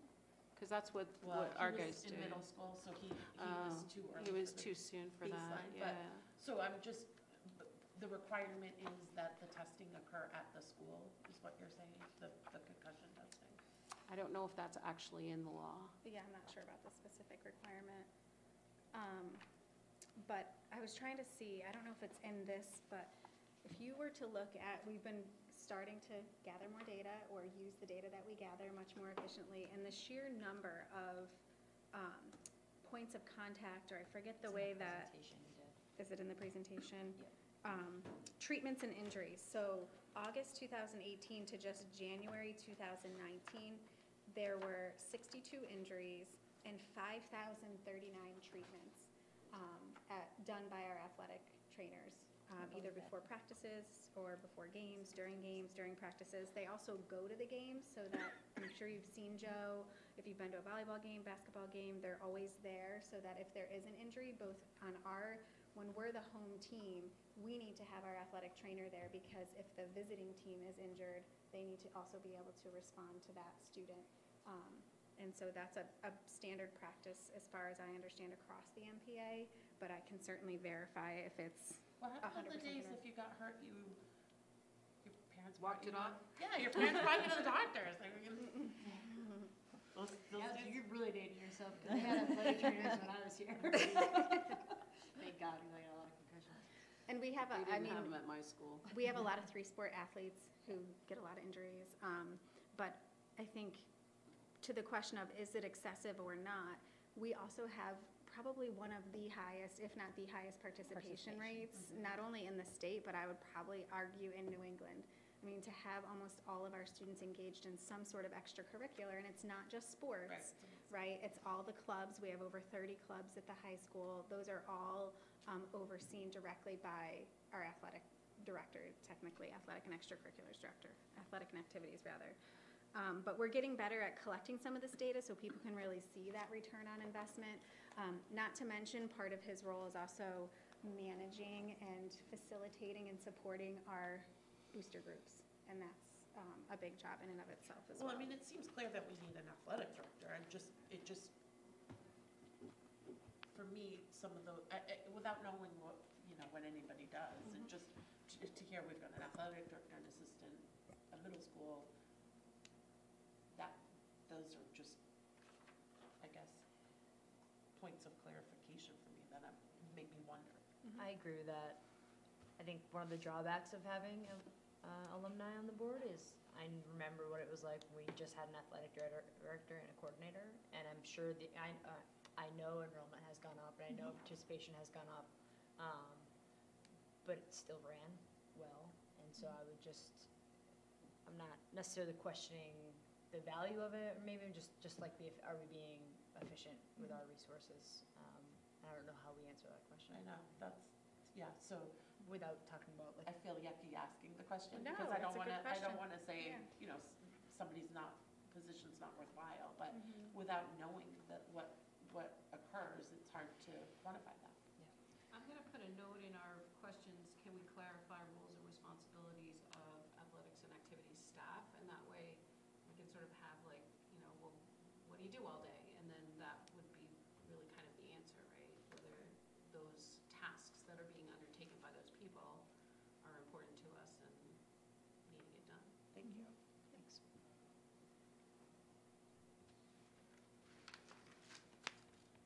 That would be if I could type it.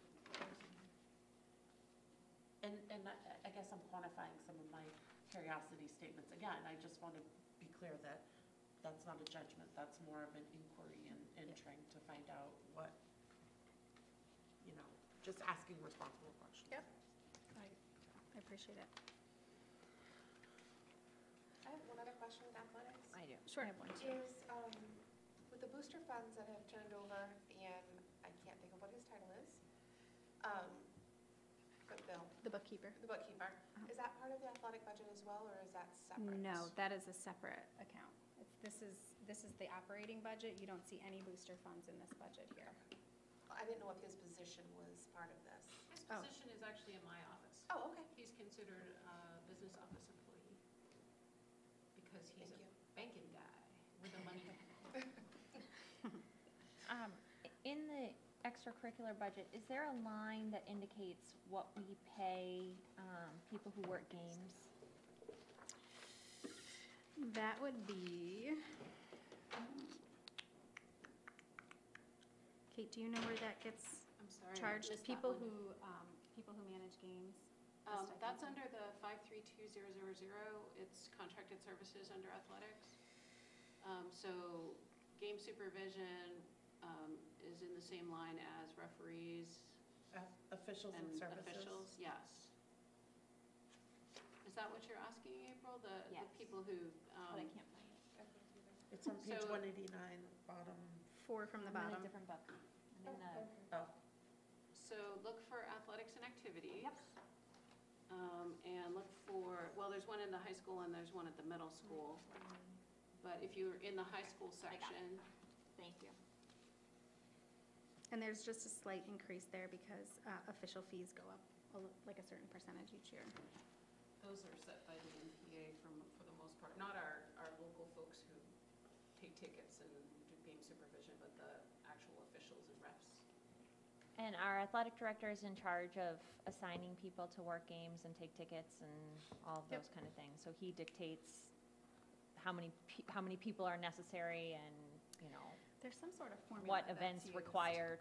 Depending on the size of the event, how many people are required. For site supervision? Yeah. Um, there's a facilities formula that says, depending on the size of your group, you might need to have a custodian, or you might need to have a site supervisor for outside groups. But for our own activities, I think it's just up to the, you know, understanding of the department, right? No, I think there's, um, there's a Like a formula for it. Because depending upon like a football game versus a volleyball game, you're gonna see a different amount of game supervision or not. Um, and actually, this is something that's in our contract that doesn't act, doesn't happen regularly, but staff are also, in the contract, it says that they would. It's one of their duties. yeah, as a duty attender, facilitate at least one event. Um, That has not been put into practice for a number of years, and that will be a uh, sticky one if, if and when that is, is readdressed, um, probably in this contract, I'm sure they're look- talking about that. But um, high school administrators attend, have to attend, depending upon if it's a basketball game, maybe one, if it's a football game, all three typically, if it's a home game, um, also as part of their oversight, oversight. But I will find out um, the specific formula used for game coverage. Great.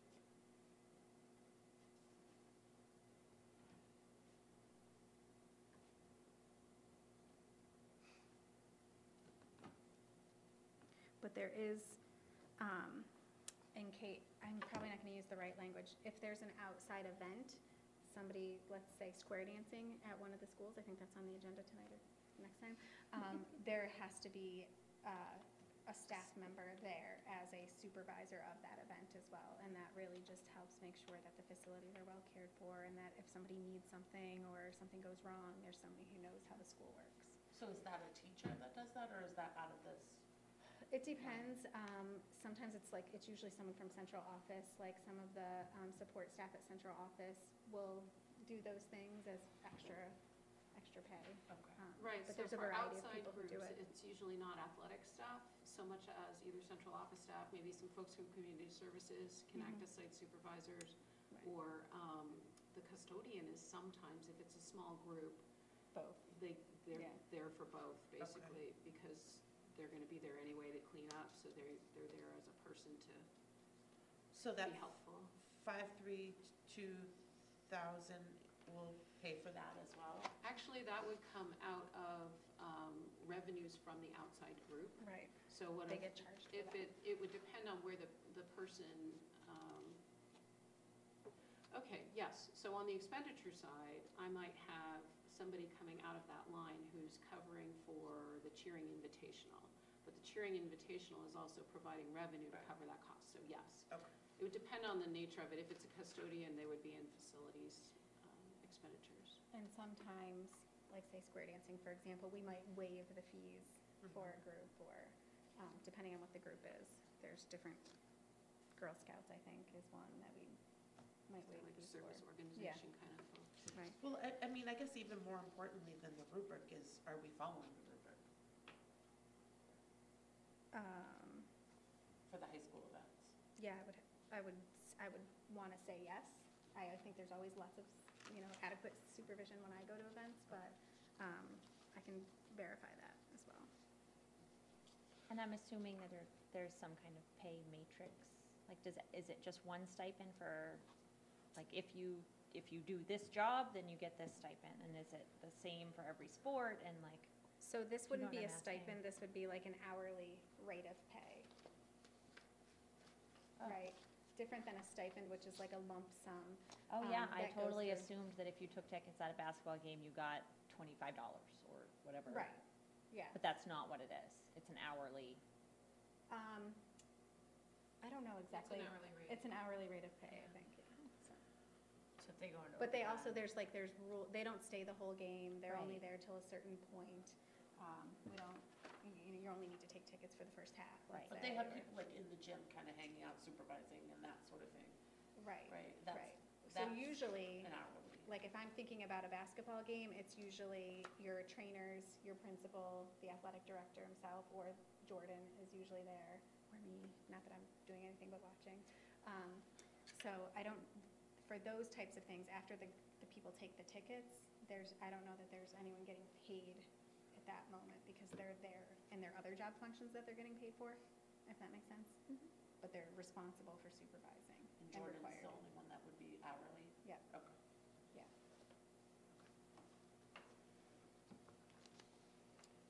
So like for a director, you'd get, there's no limit on the number of hours you serve. Right, right. You're just there. So, so then. There's no overtime. Most of this, I'm assuming then is officials.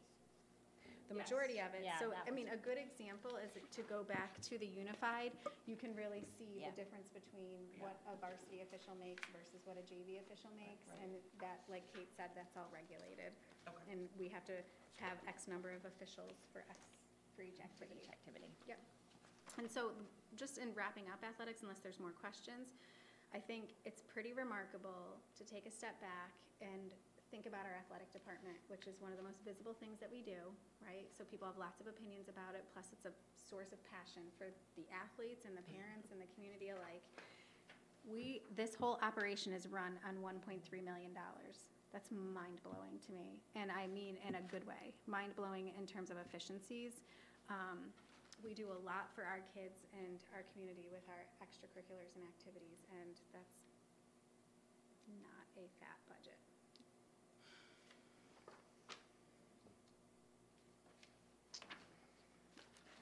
All right, so the next one is guidance services. I don't know if there's any specific questions about that. No. I had one, but I think you answered it in the, just about the contracted services. Guidance contracted services, Yeah. Uh, One of the things, that, that's another sort of um, unusual line this year because uh, uh, you noted that I had projected we were only going to use half of it. We actually diverted um, $5,000 to another instructional line at the high school because the guidance department had money in the bank um, in their activity account that they wanted to use up, that they didn't have any reason to accumulate it. Um, They get fees from the college board for putting on testing. And so that had accumulated little by little over the, over the years until they had a significant amount.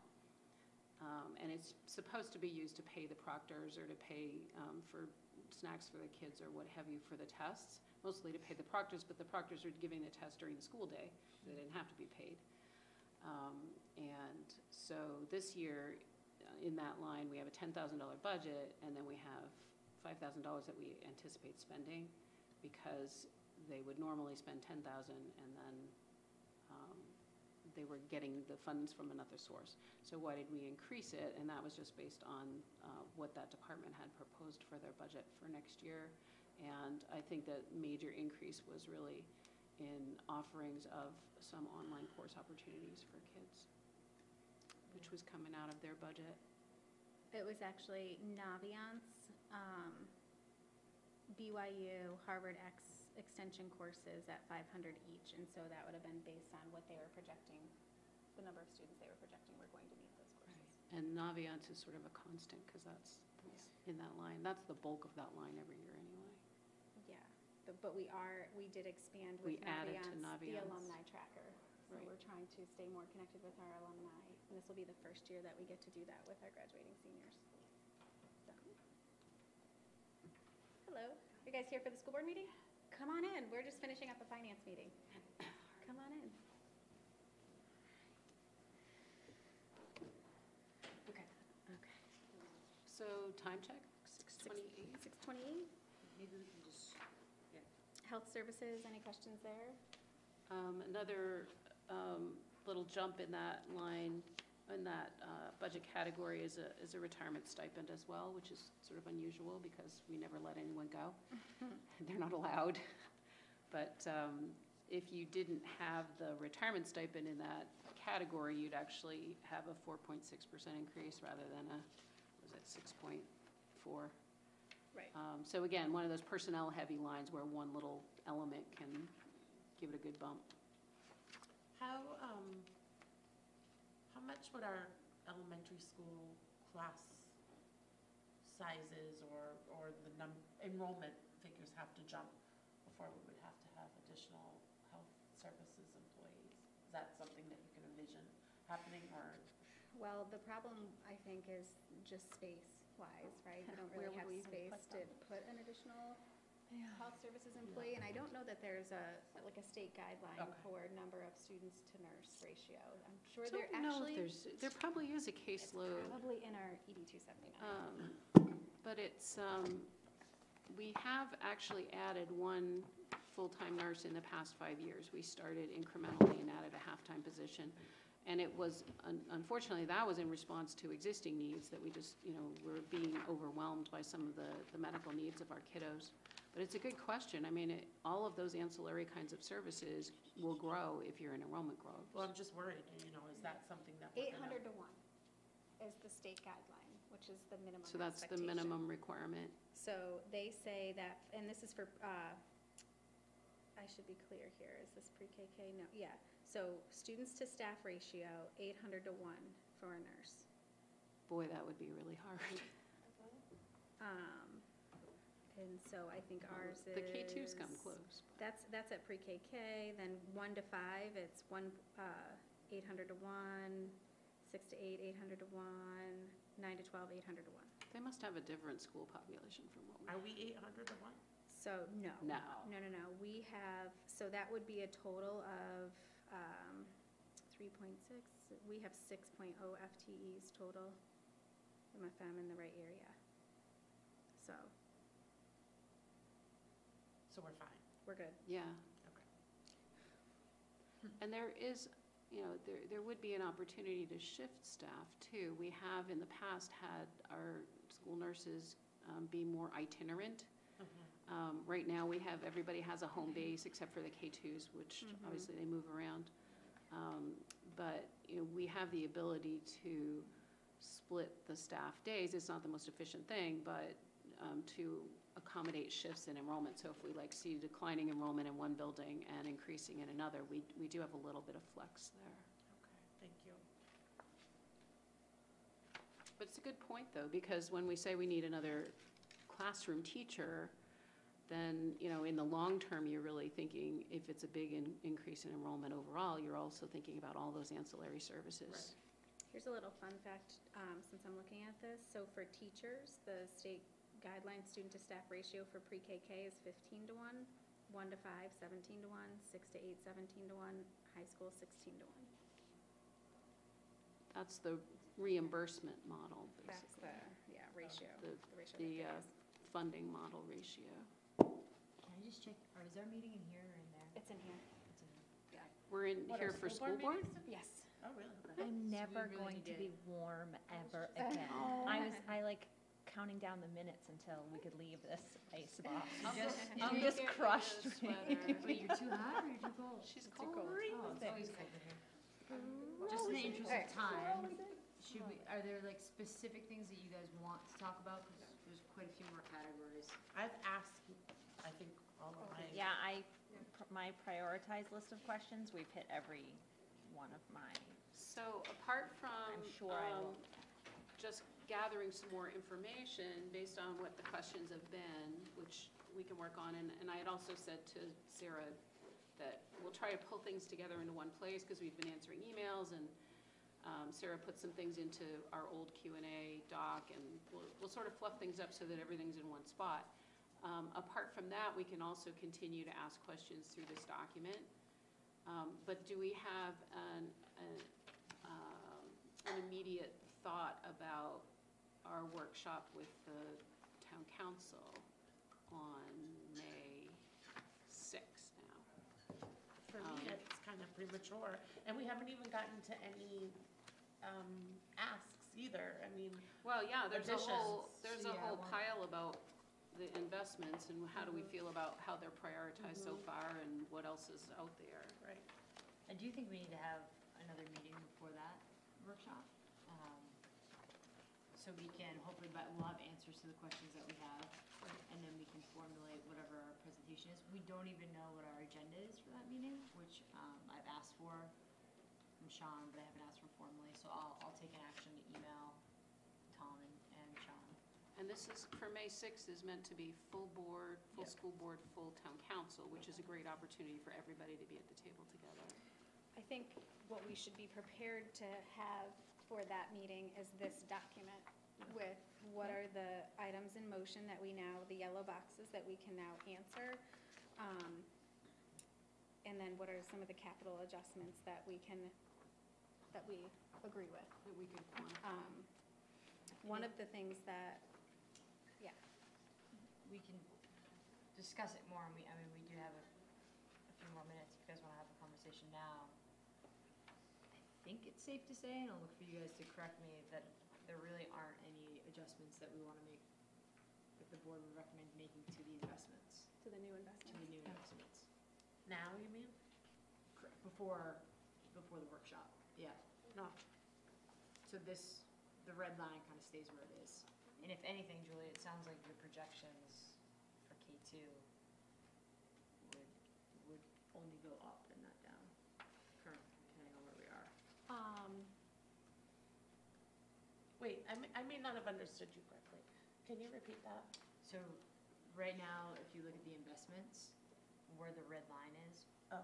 would you make any changes to that? So would you Oh. move the red line up or down, or take any, or take anything out of the current investments? Well, I guess that's in I don't remember, but I did want to discuss the inclusion specialist after hearing about the number of children coming in with special needs and, mm-hmm. And what that means. I was a little bit worried about that and, and wanted to have a discussion about, about that. Yeah, that's not So- even on the. And, and what is, and, and I guess I don't know enough about that position specifically. I mean, is that something that actually might have a return on investment as well as being sort of the right thing to do? Um, Like, meaning you may have net less need for an ed tech or something in the future if you can, i- if, if, Yeah, so we can share with you the proposal as it was written by Allison and ask her to come to the next meeting to ask really, answer really specific questions. In terms of return on investment, I think what you would, the kinds of things we would be measuring are, um, you know, behavioral interventions in the, in the, um, you know, are students able to be in the classroom more? Are students able to receive, receive services more? Are stu- students able to be mainstreamed more? So quantifying it in sort of minutes is a way to get that return on, or kind of measure that, the value of that position. But it also would be teacher feedback, because there would be a lot of educating the staff around what, what inclusive practices, practices look like, what is universal design um, for all students. And so it's really about shifting mindset as well. And the goal would be that you would have less students. Um, One of the goals may be that there are fewer students needing really um, out of classroom placements because they would be able to get their needs met within the mainstream classroom, which is always our goal. We're trying to mainstream as much as we can. so I'd be really interested in that, especially knowing the, the sort of growing population. Okay. So do we, are we going to Share. schedule another meeting? Yeah. Okay. And so I'll definitely ask Al- Allison to come to that Thank one. you. So you can hear directly from her about her vision for that role. Really quickly, while we're still on the new investments page, has there been any more discussion of um, sharing the human resource specialist with the town? So we haven't had any formal discussions with the town, but Kate and I were talking about this today, and Leanne and I had a conversation about it as well. Um, That sounds like a really easy fix to say, like, great, we'll share Liam, and he'll serve both the town and the schools. Um, But I don't believe that that would help us realize the value that this position would have. We would still need another person, because he's not going to be able to absorb 500-plus more employees and actually support them in the way that they would need to be supported. So would it require a different level? We have a pretty low-level position um, in the budget. It's not at a director rate. Um, That's why it's a specialist and not a director. So um, we, so I guess the answer is no. We haven't had any formal conversations about that. Well, the other thing I was wondering is do, the- does the town and the school use the same software and all of that sort of type of stuff? I mean, We use the same financial software and payroll software, yes. Um, I think the, the difficulty that we run up against is that the s- way public schools are, um, mm, the word isn't managed, the, the, the legal structure of employment in a school system is different from the legal structure of employment under a town charter. Um, So there, there are some definite um, areas of expertise that would be different for a school employee and a town employee. Interestingly, Liam used to work for the town of Westbrook and did both, town and school. Um, I don't think he liked it very much because it was an, a very overwhelming and complex job. It was two jobs. Um, But he would certainly have a, a good lens on what that would take.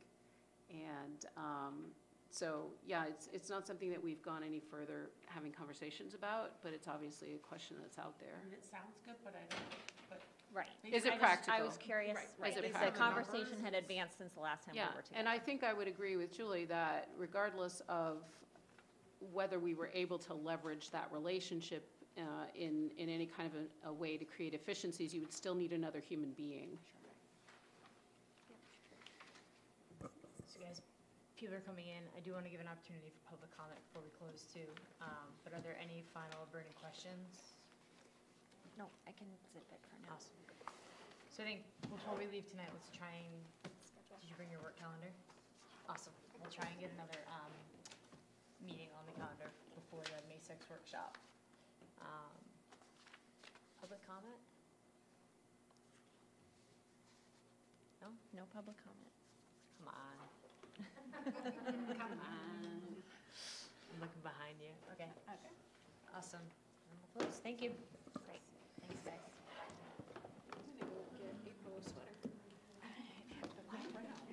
This is what all our people, because we had break last week, and we don't have, so they're like standing every fourth meeting, and we're like standing every third ordinance, uh, ordinance, I think.